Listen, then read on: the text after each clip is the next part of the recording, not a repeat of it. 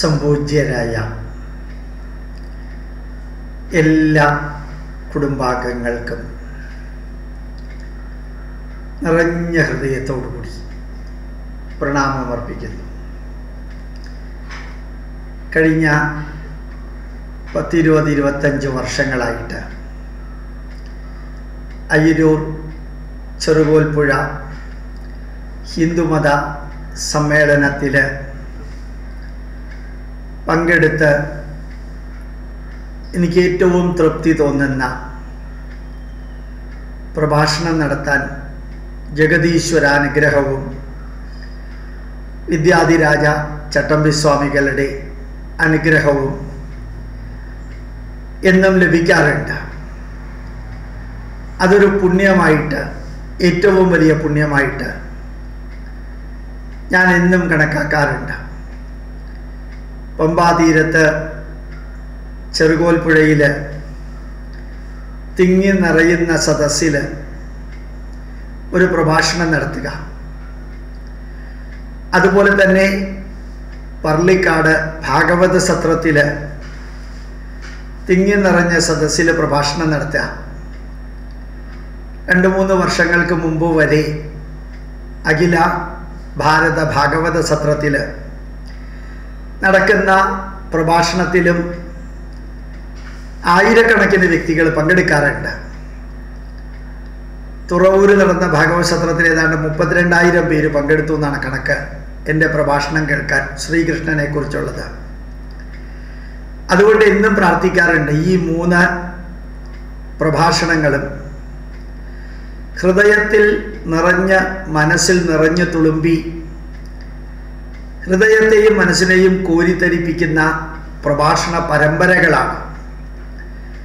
പലപ്പോഴും ഞാൻ വിചാരിക്കാറുമുണ്ട്.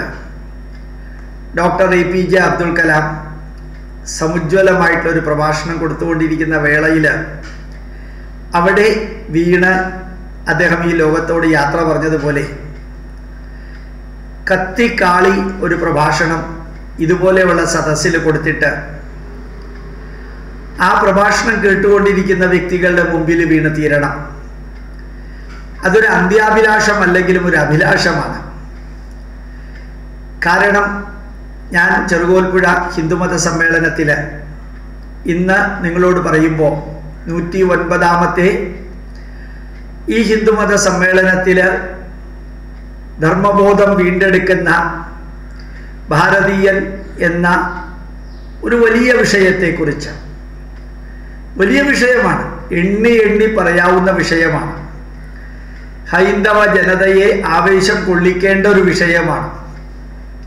ഒരു വലിയ തിരിച്ചുവരവ് നടക്കുന്ന കാര്യങ്ങൾ നമ്മൾ അറിയാൻ വേണ്ടിയിട്ടുള്ള ഒരു വിഷയമാണ് ചെറുകോൽപ്പുഴയിൽ പമ്പാ നദീ തീരത്തിരുന്നുകൊണ്ട് നിന്നുകൊണ്ട് ഇങ്ങനെ പറയാൻ എനിക്ക് സാധിക്കുന്നത്.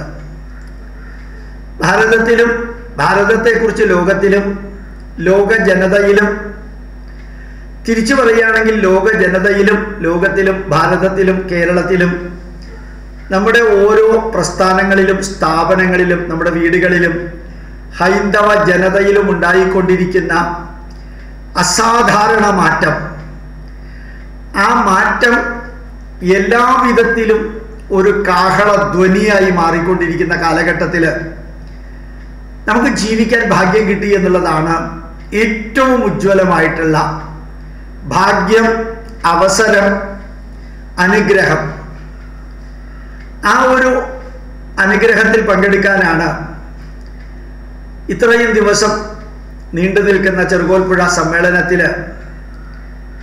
ശരിക്കും പതിനാലാം തീയതി വരെ ഫെബ്രുവരി പതിനാലാം തീയതി വരെ നീണ്ടു നിൽക്കുന്ന ഏഴ് മുതൽ പതിനാല് വരെ നീണ്ടു നിൽക്കുന്ന കേരളത്തിലെ ഏറ്റവും അടുക്കും ചിട്ടയുമുള്ള ഒരു ഹിന്ദുമത സമ്മേളനത്തിൽ ഏറ്റവും അടുക്കും ചിട്ടയുമുള്ള ഒരു ഹിന്ദുമത സമ്മേളനത്തിൽ പങ്കെടുക്കുന്നവര് അതിൽ ആകർഷകമായ രീതിയിൽ അത് ശ്രവിക്കുന്നവരെ ഉൾക്കൊള്ളുന്നവര് എല്ലാം മറന്ന് ആസ്വദിക്കുന്നവര്.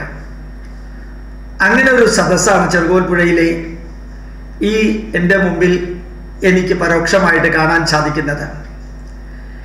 അങ്ങനെയുള്ള വേദിയിൽ എപ്പോഴും ഞാൻ വരുമ്പോഴും ചെറുകോൽപ്പുഴ ഹിന്ദുമത സമ്മേളനത്തിന്റെ രക്ഷാധികാരിയായിട്ടുള്ള ശ്രീ ഉപേന്ദ്രനാഥ കുറുപ്പ് അദ്ദേഹം അടുത്തു വന്ന് പറയാറുണ്ട് ഗോപാലകൃഷ്ണന്റെ പ്രഭാഷണം കേൾക്കാൻ ശരീരത്തിന് തീരെ സുഖമില്ലെങ്കിലും ഞാൻ വരും. മറ്റ് ചില പ്രഭാഷണങ്ങൾക്കും ഉദ്ഘാടനത്തിനും വരുമെങ്കിലും ഇതും മുടക്കാറില്ല.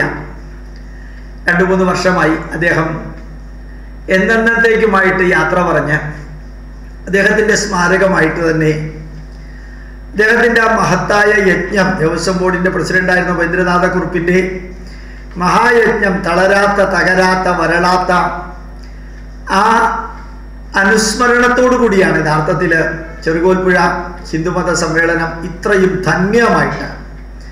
ഇനി ആർക്കും തകർക്കാൻ പറ്റാത്ത വിധത്തിൽ ആത്മവിശ്വാസത്തോടു കൂടി മുമ്പോട്ട് പോകുന്നത്. കഴിഞ്ഞ വർഷം നേരിട്ട് വന്ന് പ്രഭാഷണം നടത്താൻ ഭാഗ്യം കിട്ടി. അതൊരു വലിയ വലിയ ഗംഭീരമായിട്ടുള്ള അത്യാഹ്ലാദകരമായിട്ടുള്ള അവസ്ഥയായിരുന്നു. അതിനുശേഷം കൊറോണ വന്നു. ആ കൊറോണ ഏതാണ്ട് മറ്റ് മതങ്ങളിലെ ഒത്തുചേരലിനെ കാര്യമായിട്ട് സ്വാധീനിച്ചു എങ്കിലും ഹൈന്ദവ ജനതയ്ക്ക് പരോക്ഷമായിട്ട് വേദനാജനകമാണെങ്കിൽ പോലും പരോക്ഷമായിട്ടുള്ളൊരു വലിയ അനുഗ്രഹമായിരുന്നു എന്നെനിക്ക് തോന്നുന്നു. എല്ലാവർക്കും തോന്നണമെന്നില്ല. ഈ കൊറോണ അതിന്റെ രോഗവും അതിന്റെ രോഗവ്യാപ്തിയും ഇരുപത്തേഴ് ശതമാനം ചികിത്സിച്ച് ഭേദമാക്കുന്നതിൽ നിന്ന് തൊണ്ണൂറ്റി എട്ട് പോയിന്റ് ഏഴ് ശതമാനത്തിലേക്ക് ചികിത്സിച്ച് ഭേദമാക്കാൻ സാധിക്കുന്ന ലെവലിലേക്കും വാക്സിനും രണ്ട് മൂന്ന് തരത്തിലുള്ള വാക്സിൻ ലോകമെമ്പാടും എത്തിക്കാൻ സാധിച്ച ഒരു വലിയ മഹാ നെഗറ്റീവിനെ മഹാ പോസിറ്റീവാക്കി മാറ്റിയ ഭാരതം. ആ ഭാരതം ശരിക്ക് അനവധി അനവധി മണ്ഡലങ്ങളിൽ കൊറോണയുടെ നെഗറ്റീവ് സ്വാധീനിച്ചുവെങ്കിലും ആ നെഗറ്റീവിനെ ഇന്നും പോസിറ്റീവാക്കാൻ കഴിവുള്ള ഭാരതത്തിന് വളരെ ഗംഭീരമായിട്ടുള്ള നേട്ടങ്ങൾ ഉണ്ടാക്കാൻ സാധിച്ചു. ഹിന്ദു ധർമ്മം നമ്മളെ പഠിപ്പിക്കുന്നത് കരഞ്ഞുകൊണ്ടിരിക്കല്ലേ? കരഞ്ഞുകൊണ്ട് ജീവിതം അവസാനിപ്പിക്കല്ലേ? നമ്മുടെ എല്ലാ ഗ്രന്ഥങ്ങളും നമ്മളോട് പറയുന്നു നെഗറ്റീവുകളാണ് നമ്മൾ പോസിറ്റീവുകളാക്കിയത് ശ്രീരാമൻ അവതരിച്ചതിൽ രാവണനുള്ളത് കൊണ്ടാണ്. ശ്രീകൃഷ്ണൻ അവതരിച്ചത് കംസൻ വന്നതുകൊണ്ടാണ്. നരസിംഹമൂർത്തി അവതരിച്ചത് പ്രഹ്ലാദനും ഹിരണ്യകശിപ്പുവും ഉള്ളത് കൊണ്ടാണ് ഹിരണ്യകശിപ്പു തന്നെ നെഗറ്റീവും അതിനെ പോസിറ്റീവാക്കി മാറ്റിയ പ്രഹ്ലാദനും വന്നതുകൊണ്ടാണ്.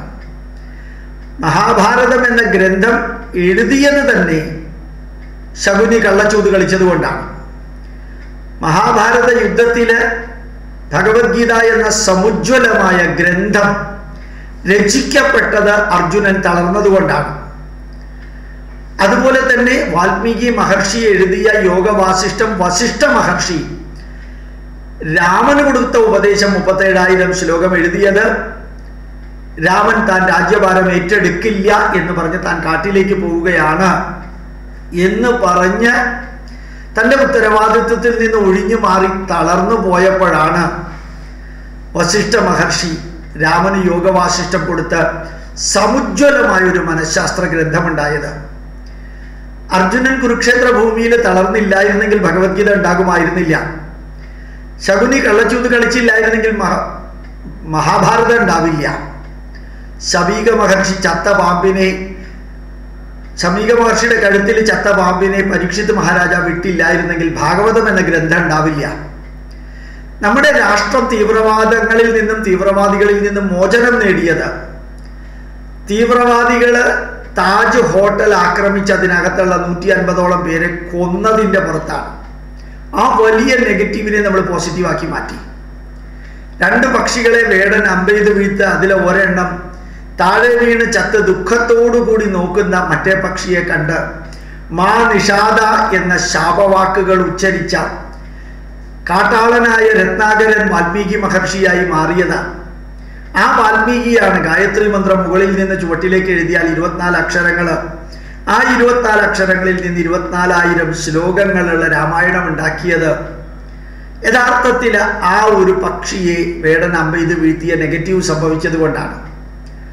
ഇപ്പൊ ഭാരതത്തിൽ ഞാൻ കുറച്ചു മുമ്പ് സൂചിപ്പിച്ചതുപോലെ നമ്മുടെ ശബരിമലയെ തകർക്കാൻ കേരളം ഭരിക്കുന്ന ഭരണാധികാരികളും കൂടെയുള്ള മന്ത്രിമാരും കാട്ടിക്കൂട്ടിയ നീചവും നിന്ദ്യവും നികൃഷ്ടവും അവഹേളനാത്മകവുമായിട്ടുള്ള പരിപാടികൾ ഹിന്ദു ധർമ്മത്തെയും ഹിന്ദു ഗ്രന്ഥങ്ങളെയും തകർത്ത് തരിപ്പണമാക്കാൻ കാണിച്ചു കൂട്ടിയ വ്യഗ്രത ന്യൂനപക്ഷ വോട്ട് ബാങ്കിനും ന്യൂനപക്ഷങ്ങളെ പ്രീണിപ്പിക്കാനും ഹിന്ദുക്കളെ ചതച്ചരച്ച് അവഹേളിച്ച് ഗുരുവായൂരിനെയും ചോറ്റാനിക്കരയെയും ശബരിമലയെയും എല്ലാം തകർക്കാനായിട്ട് ധാർഷ്ട്യത്തിന്റെയും അഹങ്കാരത്തിന്റെയും തണ്ടിന്റെയും നീച ചിന്തയുടെയും എല്ലാം പ്രവൃത്തിയുടെ പരിണതഫലമായിട്ട് ആ നെഗറ്റീവുകളെയാണ് ഹിന്ദു യഥാർത്ഥത്തിൽ പോസിറ്റീവ് ആക്കുന്നത് ഹിന്ദുക്കൾ പോസിറ്റീവ് ആക്കുന്നത് ഇന്ന് ഹിന്ദുവിനറിയാം ഏത് അറസ്റ്റ് നടന്നാലും ഏത് തരത്തിലുള്ള അവഹേളനം നടന്നാലും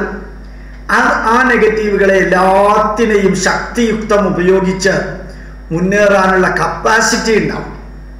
അത് തന്നെയാണ് ബി ജെ പി പ്രസിഡന്റ് നദ്ദക്കെതിരെ കേസ് തൃശ്ശൂരിൽ വന്നപ്പോൾ യഥാർത്ഥത്തിൽ അതൊരു വലിയ വിഷയമായി മാറി.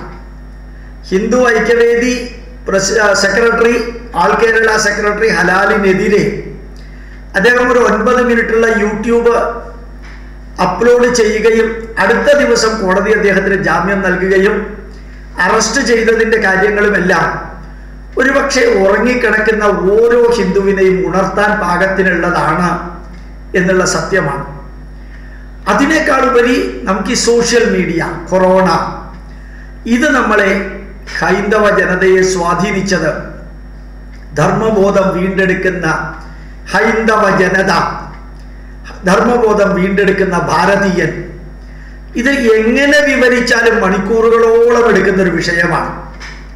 മണിക്കൂറുകളോളം എടുക്കുന്ന ഈ വിഷയത്തിൽ ഞാൻ കുറച്ച് കാര്യങ്ങൾ ഇത് നിങ്ങളുടെ മനസ്സിൽ നിറച്ചു വെക്കണം. ചെറുകോൽപ്പുഴ പമ്പാതീരത്ത് തിങ്ങി നിറഞ്ഞിരിക്കുന്ന കൊറോണയുടെ വെല്ലുവിളിയെ പോലും അവഗണിച്ച് ഇവിടെ നിറഞ്ഞിരിക്കുന്ന ഈ സദസ്സിലെ എന്റെ പ്രിയ കുടുംബാംഗങ്ങളോട് അറിയിക്കാനുള്ളത് ഹൈന്ദവ ജനത എങ്ങനെ ഈ ധർമ്മബോധം വീണ്ടെടുത്തു എന്ന നിങ്ങൾ നിങ്ങളുടെ ഓഫീസിലോ നിങ്ങളുടെ കുടുംബത്തിലോ ബന്ധുക്കളോടോ സുഹൃത്തുക്കളോടോ ശത്രുക്കളോടോ പാർട്ടിക്കാരോടോ പറയുമ്പോഴും അതുപോലെ അടുത്ത ഇലക്ഷന് തിരു തകൃതിയായിട്ട് ഈ ധർമ്മത്തെ നിലനിർത്താനും ധർമ്മത്തിന് വേണ്ടി പ്രവർത്തിക്കുന്നവരെയും മാത്രം ജയിപ്പിക്കാനും പൊളിറ്റിക്കലി ഹൈന്ദവ ജനതയെ ഒരുമിച്ച് കൊണ്ടുവരാനും അതുപോലെ തന്നെ മാറി നിൽക്കുന്ന എസ് എൻ ഡി പിയെയും എൻ എസ് എസിനെയും വിരലിൽ എണ്ണാവുന്ന കുറച്ച് പേരെ തിരിച്ചു കൊണ്ടുവരാനും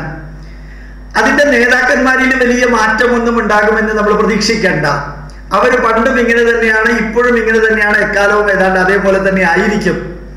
ആ കസേരയിൽ ഇരുന്നു കൊണ്ട് ഋഷിവര്യനായ അവതാരമായിട്ടുള്ള നാരായണ ഗുരുദേവൻ പറഞ്ഞതിന് എതിരെ ചെയ്യുന്ന ഒരു വിഭാഗവും അതുപോലെ മന്നത്ത് പത്മനാഭൻ ജീവിതത്തിൽ എന്റെ ജീവിതത്തിന്റെ മൂന്നിലൊരു ഭാഗം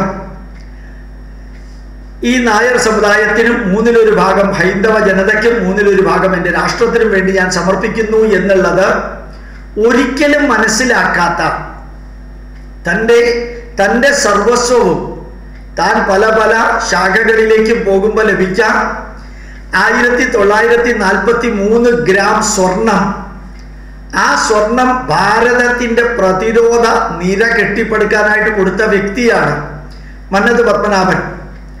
പത്ത് ലക്ഷം രൂപ എൻ എസ് എസ് ഭാരതത്തിലെ പ്രതിരോധത്തിന് കൊടുക്കണമെന്ന് യുദ്ധകാലത്ത് ഭാരതത്തെ സംരക്ഷിക്കാൻ വേണ്ട കാര്യങ്ങൾ എൻ എസ് എസ് നേരിട്ട് ചെയ്യണമെന്ന് ആഹ്വാനം ചെയ്തതൊക്കെ മറന്ന് ഒരു പ്രത്യേക രീതിയിൽ പ്രവർത്തിക്കുന്ന ഒരു ജനറൽ സെക്രട്ടറിയിലൊക്കെ മാറ്റങ്ങൾ ഉണ്ടാകണം. ആ മാറ്റങ്ങൾ ഉണ്ടാകണമെങ്കിൽ സംഖ്യേ ശക്തി കലയുകേ കലിയുഗത്തിന് ചങ്കൂറ്റമുള്ളവർ ഉണ്ട് എന്നറിഞ്ഞാൽ ശക്തന്മാരുടെ കൂട്ടത്തിൽ എല്ലാവരും ഉണ്ടാവും. ആ മാറ്റം ഇന്ന് ഹൈന്ദവ ജനതയിൽ വരുന്നുണ്ട്. നമ്മുടെ വീടുകളിൽ വരുന്നുണ്ട്. ഞാൻ ഏതാനും മിനിറ്റുകൾക്ക് മുമ്പ് നിങ്ങളോട് പറഞ്ഞു നിങ്ങൾ നമ്മൾക്ക് വേണ്ടപ്പെട്ടവരോടും നമ്മുടെ ബന്ധുക്കളോടും നമ്മുടെ സുഹൃത്തുക്കളോടും നമ്മുടെ മിത്രങ്ങളോടും നമ്മുടെ ശത്രുക്കളോടും മറ്റു മതത്തിലുള്ളവരോടും മറ്റ് രാജ്യങ്ങളിലുള്ളവരോടും കേൾക്കാത്തവരോടും കേട്ടവരോടും ഭാഗികമായിട്ട് അറിയുന്നവരോടും ഭാഗികമായിട്ട് അറിയാത്തവരോടുമായിട്ടുള്ളവരോട് ഹൈന്ദവ ജനത തിരിച്ചു വരുന്നത് എങ്ങനെയാണ് എന്ന് പറഞ്ഞു കൊടുക്കണമെങ്കിൽ ഞാൻ എപ്പോഴും ചെറുകോൽപ്പുഴ ഹിന്ദുമത സമ്മേളനത്തിൽ വന്ന് പ്രഭാഷണം നടത്തുമ്പോഴത്തേക്കും പറയാറുണ്ട്. നിങ്ങൾ ആചാരങ്ങൾ പഠിക്കുകയാണെങ്കിലും ഗ്രന്ഥങ്ങൾ പഠിക്കുകയാണെങ്കിലും ഉപദേശങ്ങൾ പഠിക്കുകയാണെങ്കിലും സങ്കല്പങ്ങൾ പഠിക്കുകയാണെങ്കിലും അതുപോലെ തന്നെ പഴമൊഴികൾ പഠിക്കുകയാണെങ്കിലും പഠിപ്പിക്കുകയാണെങ്കിലും മനസ്സിനതെങ്ങനെ സ്വാധീനിക്കുന്നു ശരീരത്തെ എങ്ങനെ സ്വാധീനിക്കുന്നു കുടുംബ ബന്ധങ്ങളെ എങ്ങനെ സ്വാധീനിക്കുന്നു നമ്മുടെ സംസ്കാരത്തെ എങ്ങനെ സ്വാധീനിക്കുന്നു നമ്മുടെ നമ്മുടെ സമൂഹത്തെ നമ്മുടെ പ്രസ്ഥാനങ്ങളെ എങ്ങനെ സ്വാധീനിക്കുന്നു നമ്മുടെ രാഷ്ട്രങ്ങളെ എങ്ങനെ സ്വാധീനിക്കുന്നു നമ്മുടെ രാഷ്ട്രത്തെ എങ്ങനെ സ്വാധീനിക്കുന്നു? അതുപോലെ തന്നെ ലോകത്തിൽ ഹിന്ദുക്കൾ ഉള്ളവര് ലോകത്തിലുള്ള ഭാരതീയര് ഹിന്ദുക്കളും ഹിന്ദുക്കളായിരുന്നവരുമായ ഭാരതീയര് മറ്റൊരർത്ഥത്തിൽ ഹിന്ദുക്കളും മുസ്ലിങ്ങളും ക്രിസ്ത്യാനികളും എങ്ങനെയാണ് ഇപ്പൊ ഹിന്ദു ധർമ്മത്തെ കാണുന്നത്? ഭാരതീയരല്ലാത്തവർ ഇപ്പൊ ഹിന്ദു ധർമ്മത്തെ എങ്ങനെയാണ് കാണുന്നത്? പ്രത്യേകിച്ച് കഴിഞ്ഞ ഒന്നൊന്നര രണ്ട് രണ്ടര വർഷമായിട്ട് അല്ലെങ്കിൽ ഈവൺ അഞ്ചു വർഷമായിട്ട് എടുക്കുന്നതാ നല്ലത്. അതിനെക്കുറിച്ച് നിങ്ങൾ അങ്ങനെ തന്നെ പറഞ്ഞു കൊടുക്കണം. ധർമ്മബോധം വീണ്ടെടുക്കുന്ന ഭാരതീയൻ ധർമ്മബോധം വീണ്ടെടുക്കുന്ന ഹിന്ദു ജനത ഹൈന്ദവ ജനത എങ്ങനെയാണ് മനസ്സിൽ നമുക്ക് മാറ്റം വന്നിരിക്കുന്നത്? മനസ്സിൽ നമ്മുടെ മാറ്റം വന്നിരിക്കുന്നത് എങ്ങനെയാണ്? നമ്മുടെ ശാരീരിക ആരോഗ്യം നിലനിൽക്കുന്നതിൽ എങ്ങനെയാണ് മാറ്റം വന്നിരിക്കുന്നത്? നമ്മുടെ കുടുംബ ബന്ധങ്ങൾ നിലനിർത്തുന്നതിൽ ഈ കഴിഞ്ഞ കുറേ കാലമായിട്ട് വന്നിരിക്കുന്ന മാറ്റങ്ങൾ എന്തൊക്കെയാണ്? നമ്മുടെ ക്ഷേത്രങ്ങൾ നമ്മുടെ സംസ്കാരങ്ങൾ നമ്മുടെ കലകൾ നമ്മുടെ പൈതൃകം അതിനോടൊക്കെയുള്ള വീക്ഷണം എങ്ങനെയാ മാറിയിരിക്കുന്നത്? അതുപോലെ തന്നെ നമ്മുടെ പ്രസ്ഥാനങ്ങൾ എല്ലാ പ്രസ്ഥാനങ്ങളും ഹൈന്ദവ ജനതയ്ക്കും നമ്മുടെ സംസ്കാരത്തിനും ഹിന്ദു എന്ന തല ഉയർത്തി നിന്നൊരു നൂറ് ജന്മമുണ്ടെങ്കിൽ നൂറ് ജന്മവും ഹിന്ദുവായി തന്നെ ജനിക്കണമെന്ന് പ്രാർത്ഥിക്കുന്ന കൂട്ടം കൂട്ടമായ ജനങ്ങൾ അടങ്ങുന്ന സ്ഥാപനങ്ങളും പ്രസ്ഥാനങ്ങളും. എങ്ങനെയാണ് ഈ ഈ ധർമ്മബോധം വീണ്ടെടുക്കുന്ന കാലയളവിൽ മാറിക്കൊണ്ടിരിക്കുന്നത് എന്ന് നമ്മൾ അറിയണം. അത് തന്നെയാണ് നമ്മുടെ നമ്മുടെ രാഷ്ട്രത്തിൽ വന്നുകൊണ്ടിരിക്കുന്ന മാറ്റം. ഇങ്ങനെ എണ്ണി എണ്ണി പറയണം. ടാൻജിബിൾ പാരാമീറ്റേഴ്സിൽ പറയണം.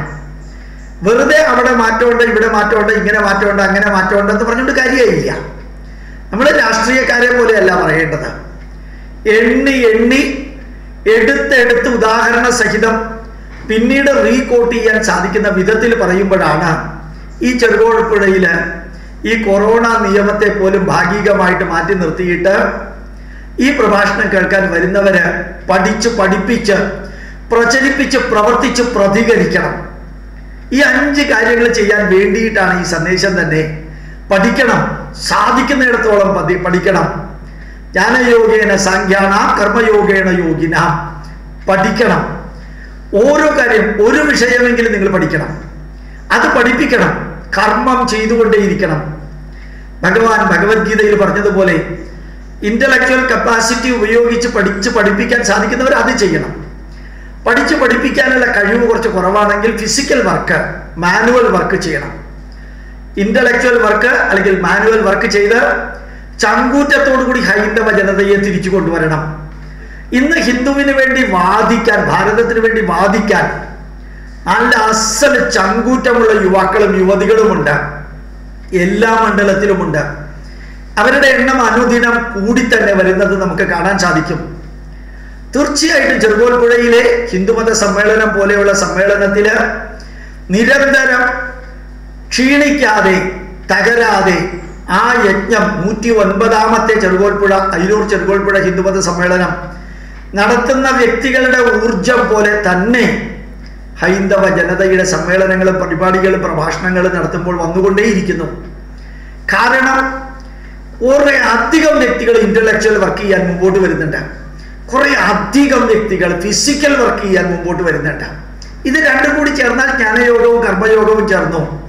ഇത് രണ്ടും കൂടി ചേർന്നാൽ ജ്ഞാനയോഗിയായ കൃഷ്ണനും കർമ്മയോഗിയായ അർജുനനും ഒരുമിച്ച് ചേർന്നു. അമ്പൂതിരി മുതൽക്ക് നായാടി വരെ ഒറ്റ ചരടിൽ കോർക്കണമെന്ന് പറഞ്ഞവരൊക്കെ വന്നു പോയി. ഇനിയും അവരിൽ മാറ്റം ഉണ്ടാവും.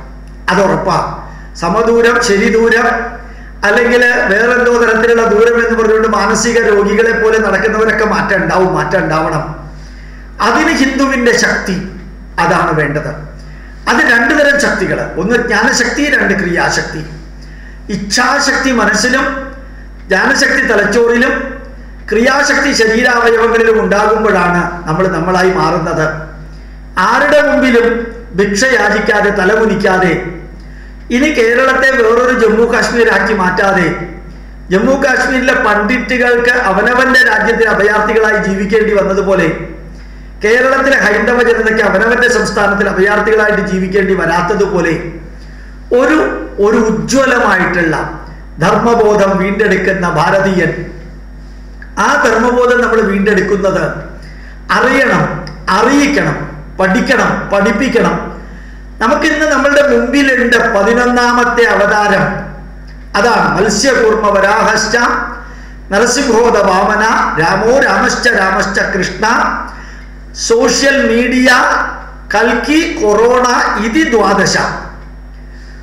ഈ കൽക്കി അവതാരം നിങ്ങൾക്കറിയാം മത്സ്യാവതാരം കുർമാവതാരം അത് കഴിഞ്ഞ് കൽക്കി അവതാരത്തിനിടയ്ക്ക് സോഷ്യൽ മീഡിയ എന്ന പതിനൊന്നാമത്തെ അവതാരം. അതുപോലെ തന്നെ കൊറോണ എന്ന പന്ത്രണ്ടാമത്തെ അവതാരവും കൂടി ചേരുകയാണ്. ഇത് രണ്ടും ഹിന്ദുക്കൾക്ക് പോസിറ്റീവാക്കി മാറ്റാൻ സാധിച്ചതുപോലെ മറ്റാർക്കും സാധിച്ചിട്ടില്ല. ഞാൻ എടുത്ത് അടിവരയിട്ട് പറയുന്നു ഓരോ ഹൈന്ദവ ജനതയും ഓരോ ഹിന്ദുവിനും നമ്മുടെ പൈതൃകത്തിലെ ആചാരങ്ങളും വിചാരങ്ങളും വിശ്വാസങ്ങളും സങ്കല്പങ്ങളും കഥകളും അനുഭവങ്ങളും ഉപദേശങ്ങളും ജീവിത യാഥാർത്ഥ്യങ്ങളും പ്രാർത്ഥനകളും ധ്യാനങ്ങളും യോഗങ്ങളും എല്ലാം ക്ഷേത്ര ഉത്സവങ്ങൾ വരെ രാമായണ നവാഹം വരെ ഭാഗവത സപ്താഹം വരെ സർവതും സർവതും സർവതും സർവതും സോഷ്യൽ മീഡിയയിലെ വീട്ടിലെത്തിച്ച് പോക്കറ്റിലുള്ള മൊബൈൽ ഫോണിൽ കാണാനും കാണിക്കാനും സാധിക്കുന്നത് പോലെ മറ്റൊരു മതത്തിലുള്ളവന് സാധിച്ചിട്ടില്ല. മറ്റൊരു മതത്തിലുള്ളവന് സാധിച്ചിട്ടില്ല. അതുകൊണ്ട് തന്നെ ആ സോഷ്യൽ മീഡിയ പതിനൊന്നാമത്തെ അവതാരം. പരിത്രാണായ സാധൂനാം വിനാശായ ചതുഷ്കൃതാം ധർമ്മ സംസ്ഥാപനാർത്ഥായ സോഷ്യൽ മീഡിയ ഇതി ഏകാദശ. സോഷ്യൽ മീഡിയ ഇതി ഏകാദശ.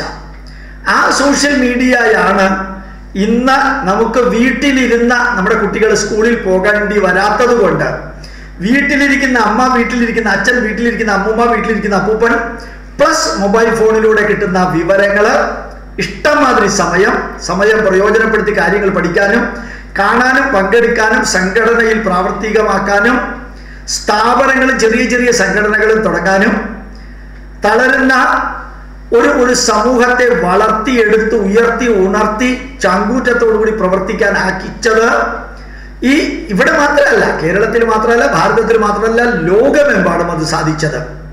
അതും പണ്ടൊരു പരിപാടി നടത്തണമെങ്കിൽ ഒരു ഒരു ലക്ഷം രണ്ട് ലക്ഷം മൂന്ന് ലക്ഷം രൂപ ചെലവഴിച്ച് നടത്തേണ്ടി വരുന്ന സ്ഥാനത്ത് വേണ്ടി വന്നാൽ ഒരു ദക്ഷിണ ആയിരം രൂപ അല്ലെങ്കിൽ അതും വേണ്ട. വെറും ആയിരക്കണക്കിന് രൂപ കൊണ്ട് ലക്ഷക്കണക്കിന് രൂപയ്ക്ക് പകരം ആയിരക്കണക്കിന് രൂപ കൊണ്ട് അവനവന്റെ വീട്ടിലിരുന്ന് ഹിന്ദു ധർമ്മം പഠിച്ച് പഠിപ്പിച്ച് പ്രചരിപ്പിച്ച് പ്രവർത്തിച്ച പ്രതികരിക്കാൻ സാധിക്കുന്ന ഒരു കാലഘട്ടത്തിൽ ജീവിക്കാൻ ഭാഗ്യം കിട്ടിയവരാണ് എന്റെ മുമ്പിലിരിക്കുന്ന ചെറുകോൽപ്പുഴയിലെ സമ്മേളനത്തിൽ പങ്കെടുക്കുന്ന ഗോപാലകൃഷ്ണന്റെ പ്രിയ കുടുംബാംഗങ്ങളും ഹിന്ദു സഹോദരന്മാരും. അത് ഇനിയും പ്രയോജനപ്പെടുത്തണം. പ്രയോജനപ്പെടുത്താൻ ചങ്കൂറ്റമുള്ള നേതാക്കന്മാരുടെ പ്രവാഹം ഹിന്ദു ധർമ്മത്തിലുണ്ട് ലോകാ സമസ്ത സുഖിനോ ഭവന്തു എന്ന് പ്രാർത്ഥിച്ചവർ തന്നെ. ഇനി നമുക്ക് പതുക്കെ വിഷയത്തിലേക്ക് വരാം. ധർമ്മബോധം വീണ്ടെടുക്കുന്ന ഹിന്ദുവിന് ഓരോ വ്യക്തിയുടെയും മനസ്സിൽ എന്താ സംഭവിക്കുന്നത് എന്ന് വെറുതെ ചിന്തിച്ചു നോക്കാം. അതൊരു ഒരു പുസ്തകം മാതിരി എഴുതാനുണ്ട്. പക്ഷെ ഞാൻ അത്രയൊന്നും പറയുന്നില്ല. നിങ്ങൾക്കറിയണം. ഇന്ന് ഹിന്ദു എന്ന് പറയാൻ തല ഉയർത്തി നിന്ന് ഇനി ഒരു നൂറ് ജന്മം ഉണ്ടെങ്കിൽ നൂറ് ജന്മവും ഹിന്ദുവായി തന്നെ ജനിക്കണം. ഹിന്ദുവായി തന്നെ നിലനിൽക്കണം. ഹിന്ദുവായി തന്നെ മരിക്കണം. എന്ന് പ്രാർത്ഥിക്കാൻ കപ്പാസിറ്റി ഉള്ള കോടിക്കണക്കിന് ഹിന്ദുക്കൾ ഇന്ന് കേരളത്തിലുണ്ട് ഭാരതത്തിലുണ്ട്. ഹിന്ദു എന്ന് പറയുന്നത് അഭിമാനത്തോടു കൂടിയാണ്.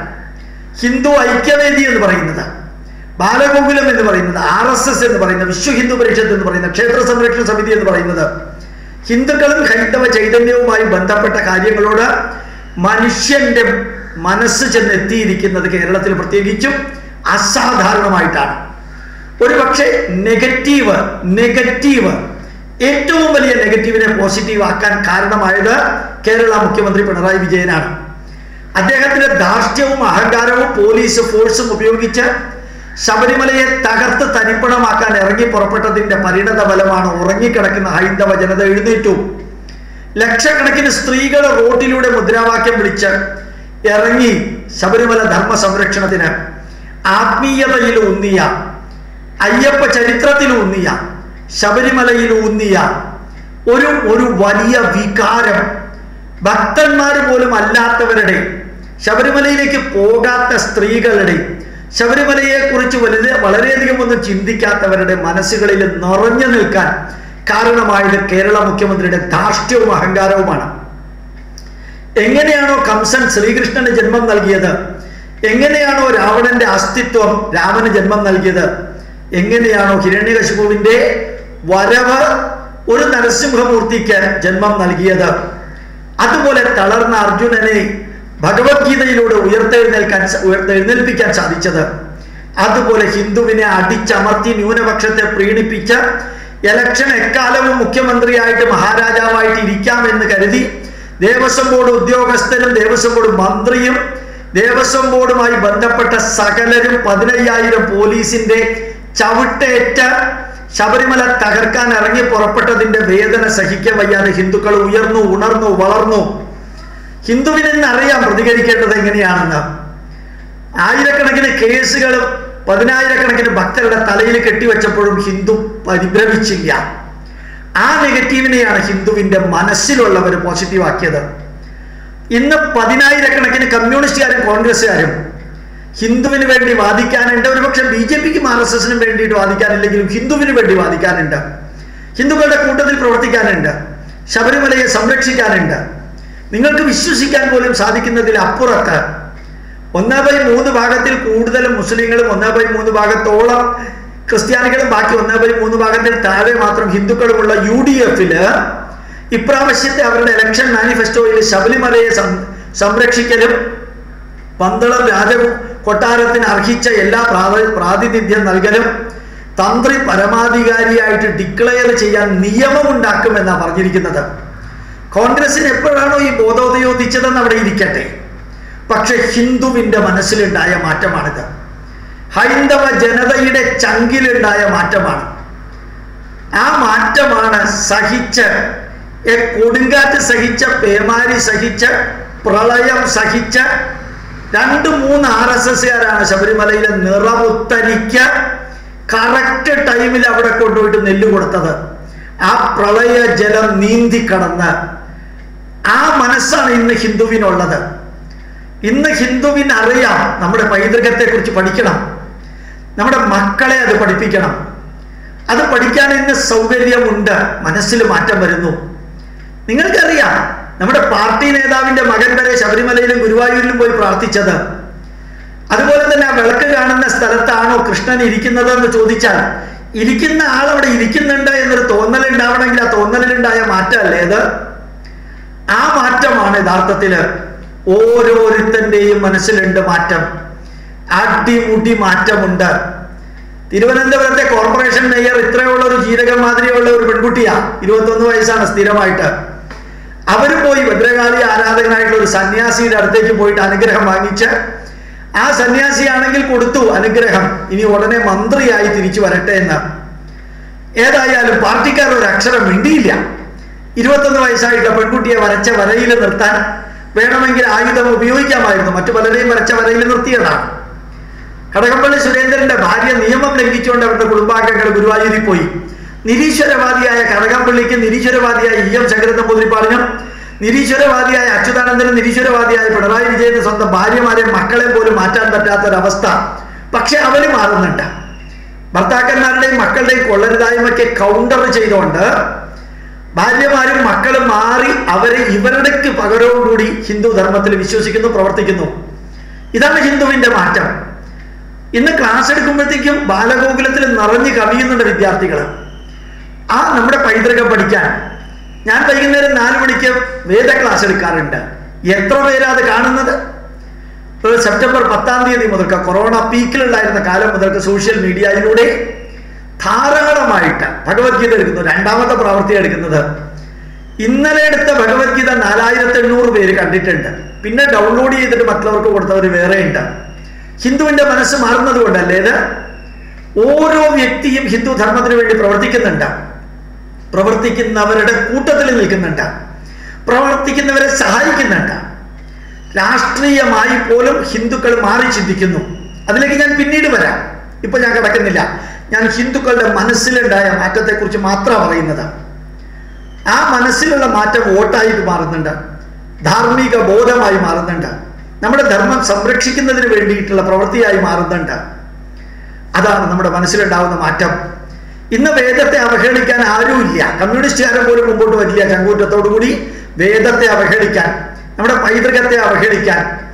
ചിലപ്പോൾ ടാബ്ലറ്റ് കഴിക്കാൻ മറന്നുപോയ ഒരു മാനസിക രോഗിയായിട്ടുള്ള ജി സു ജി സുധാകരൻ ചിലപ്പോൾ പറഞ്ഞു എന്ന് വരും.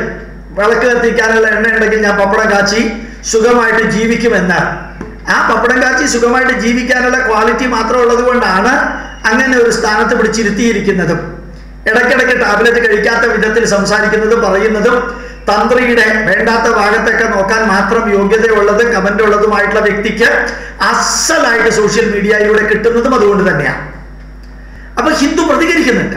മാനസികമായിട്ട് ചങ്കൂറ്റത്തോടു കൂടി പ്രതികരിക്കുന്നുണ്ട്. ഹിന്ദുക്കൾ മാറുന്നുണ്ട്. ഇന്ന് ഹിന്ദുവിനെ അവഹേളിക്കില്ല. അഞ്ചു കോടി രൂപ ഗുരുവായൂരിൽ നിന്ന് എടുത്തുവെങ്കിൽ കേസ് പറഞ്ഞത് തിരിച്ചു വെപ്പിക്കാൻ ഹിന്ദുവിന് കപ്പാസിറ്റി ഉണ്ട്.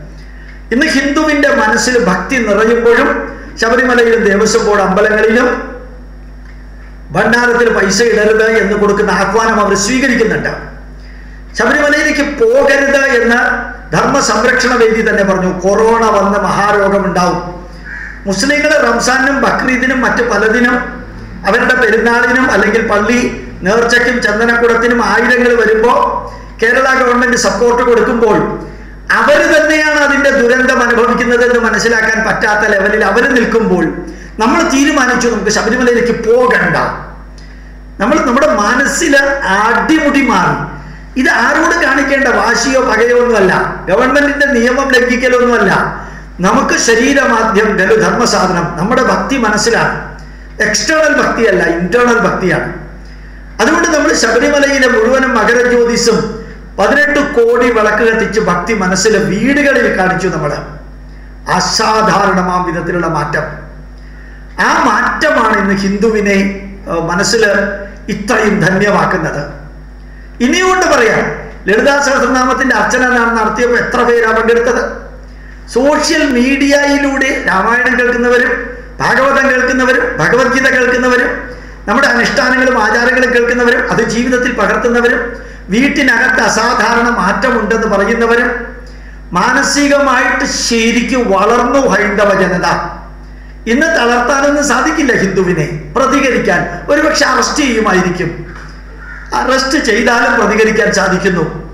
അതാണ് ഹിന്ദുവിന്റെ മനസ്സിൽ ധർമ്മബോധം വീണ്ടെടുക്കുന്ന ഹിന്ദു.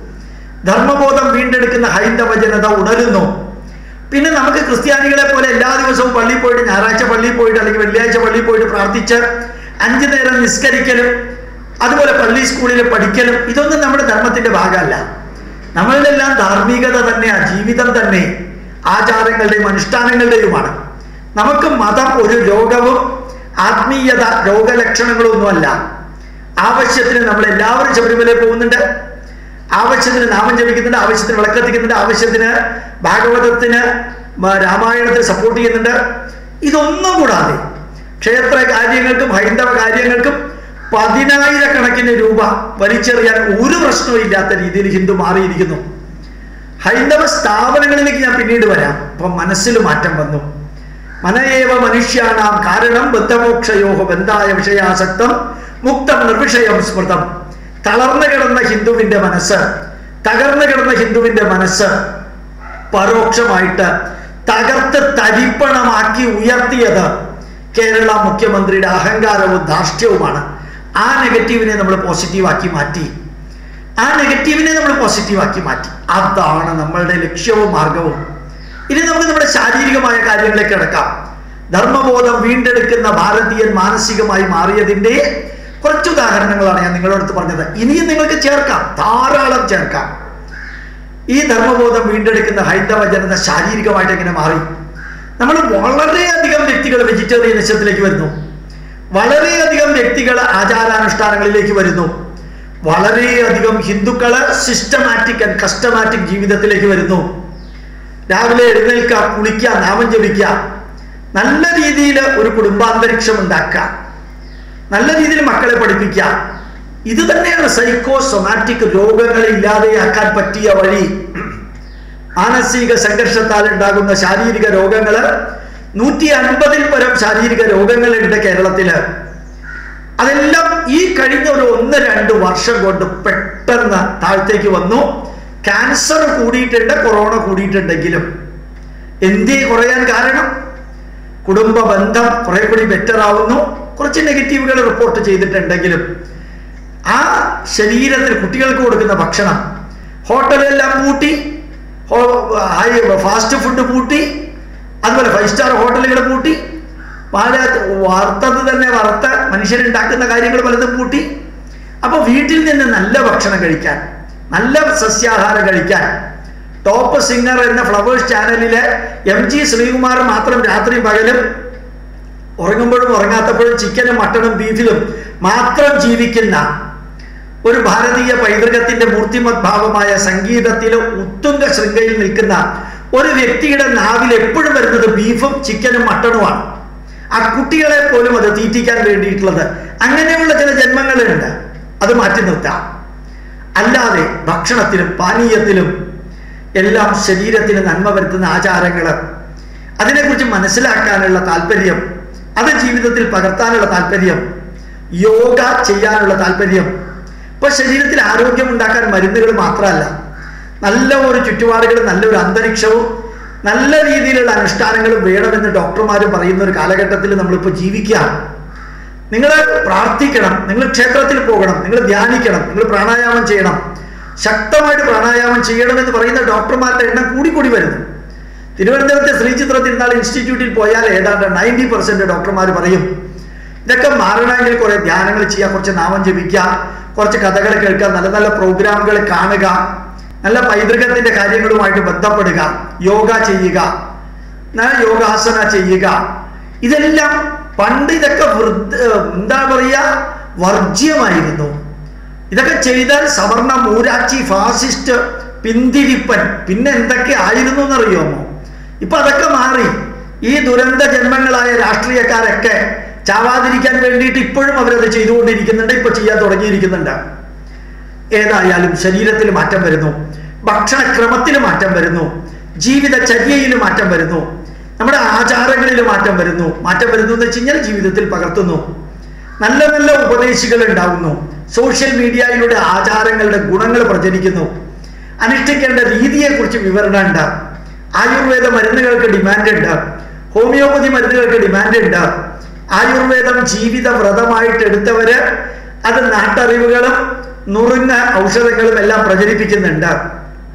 ഒരു ആശുപത്രിയിൽ പോകൽ മാത്രമല്ല മറിച്ച് ഭാരതത്തിന്റെ ജീവിത ശൈലിയുണ്ട് നരോഹിതാഹാര വിഹാരസേവി സമീക്ഷകാരി വിഷയേഷു അസക്ത ദാതാ സത്യപരാക്ഷമാവാൻ ഭവത്യ ഭവത്യരോഗ എന്ന് ചരക മഹർഷി പറഞ്ഞിരിക്കുന്നത് വേൾഡ് ഹെൽത്ത് ഓർഗനൈസേഷൻ എടുത്തിരിക്കുന്ന ആരോഗ്യത്തിന്റെ മഹത്തായ സന്ദേശം ഇന്ന് ഹൈന്ദവ ജനത മാത്രമല്ല ക്രിസ്ത്യാനികൾ കുറെ അധിക മുസ്ലിങ്ങൾ കുറെ അധിക മുസ്ലിങ്ങൾ. അത് ഞാൻ അടിവരായിട്ട് പറയാം.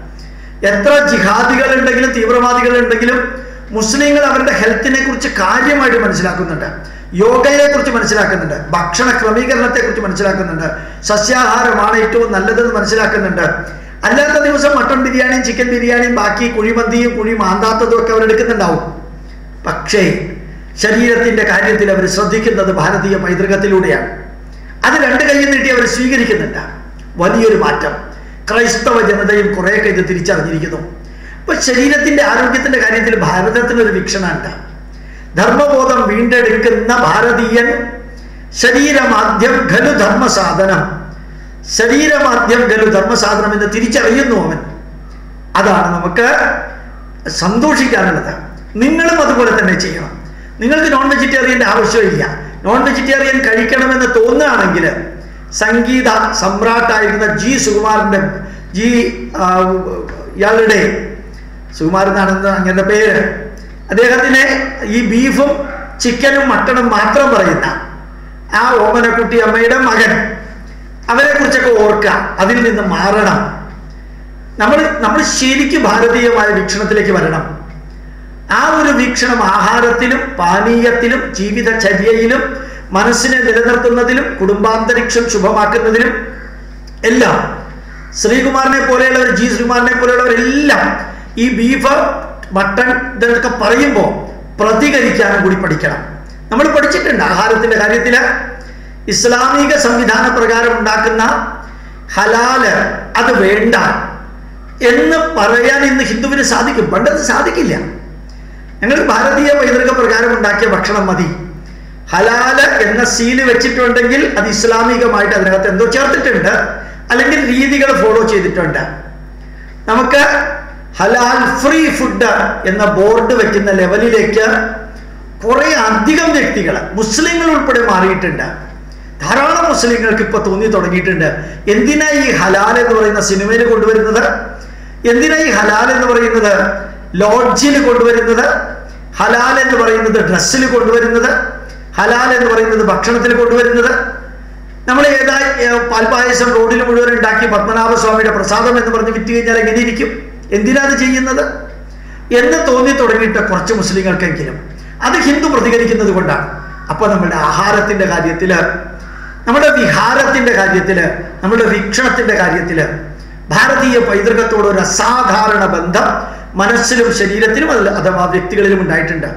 നമ്മുടെ കുടുംബ ബന്ധം നിരന്തരം നമ്മൾ ഇത്രയും കാലം പറഞ്ഞുകൊണ്ടിരുന്നത് നമ്മുടെ പുരാണങ്ങളിലും ഇതിഹാസങ്ങളിലും നൽകുന്നത് മുഴുവനും കുടുംബ ബന്ധമാണ്. രാമായണത്തിൽ നിങ്ങൾക്ക് എല്ലാവർക്കും അറിയാം ദശരഥന്റെ കുടുംബം ബാലി സുഗ്രീവന്മാരുടെ കുടുംബം രാവണന്റെ കുടുംബം. മൂന്ന് കുടുംബ ബന്ധങ്ങളെ കുറിച്ചിട്ടാണ് അതിനകത്തുള്ളവരുടെ ബന്ധങ്ങളെ കുറിച്ചിട്ടാണ് പറയുന്നത്. മഹാഭാരതത്തിലാണെങ്കിൽ കൗരവ കുടുംബം പാണ്ഡവ കുടുംബം. ഏത് നന്മ ചെയ്യുന്നു അത് നിലനിൽക്കുന്നു അല്ലാത്തത് വൈപ്പ് ഔട്ട് ചെയ്തു പോകുന്നു. ഇതൊക്കെ ഇന്ന് മനസ്സിലാവുന്നുണ്ട്. ടി വി പ്രോഗ്രാമുകളിൽ തന്നെ കുടുംബാംഗ കുടുംബാംഗങ്ങൾ ഒരുമിച്ചിരുന്ന് കാണാനും ശ്രേഷ്ഠ ഭാരതം പോലെയുള്ള പരിപാടികളും അതുപോലെ കൊറോണ കാലത്ത് മഹാഭാരതം സീരിയലും രാമായണ സീരിയലും ചാണക്യ സീരിയലും ശ്രീകൃഷ്ണ സീരിയലും എല്ലാം അങ്ങോട്ട് പ്രവഹിച്ചപ്പോൾ പത്ത് മുപ്പത് മുപ്പത്തിരണ്ട് കൊല്ലങ്ങൾക്ക് മുമ്പ് വന്നിരുന്ന മഹാഭാരതവും രാമായണവും എല്ലാം അടിപൊളി തകൃതിയായിട്ട് പൊടി തട്ടി തിരിച്ചെടുത്തതുപോലെയല്ല പുതിയതായിട്ട് ഉദിച്ചതുപോലെ തോന്നി. രാമായണം സീരിയൽ ലക്ഷ്മണന് അസ്ത്രമേറ്റ് വീഴുന്ന ആ സീൻ വന്നത് ഒരു ഞായറാഴ്ചയായിരുന്നു ഒരു ഞായറാഴ്ച. അന്ന് രാമായണം കണ്ടത് പതിനേഴ് കോടി ജനങ്ങളാണ്. ലോകത്തിലെ സർവകാല റെക്കോർഡും ഭേദിച്ചോണ്ട്.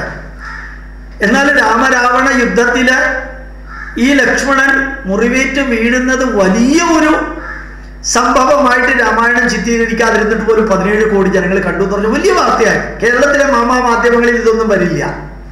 പക്ഷേ ഇന്ന് മഹാഭാരതത്തിലെ കുടുംബസങ്കല്പം രാമായണത്തിലെ കുടുംബസങ്കല്പം അതുപോലെ നമ്മുടെ പുരാണ കഥകളിലെ കുടുംബസങ്കല്പം അതുപോലെ കുടുംബത്തിലെ അമ്മയുടെ ധർമ്മം അച്ഛന്റെ ധർമ്മം മക്കളുടെ ധർമ്മം ഇതെല്ലാം ഈ കൊറോണ കാലത്ത് അനുഭവിച്ചറിയാൻ ഹിന്ദുവിന് സാധിച്ചു.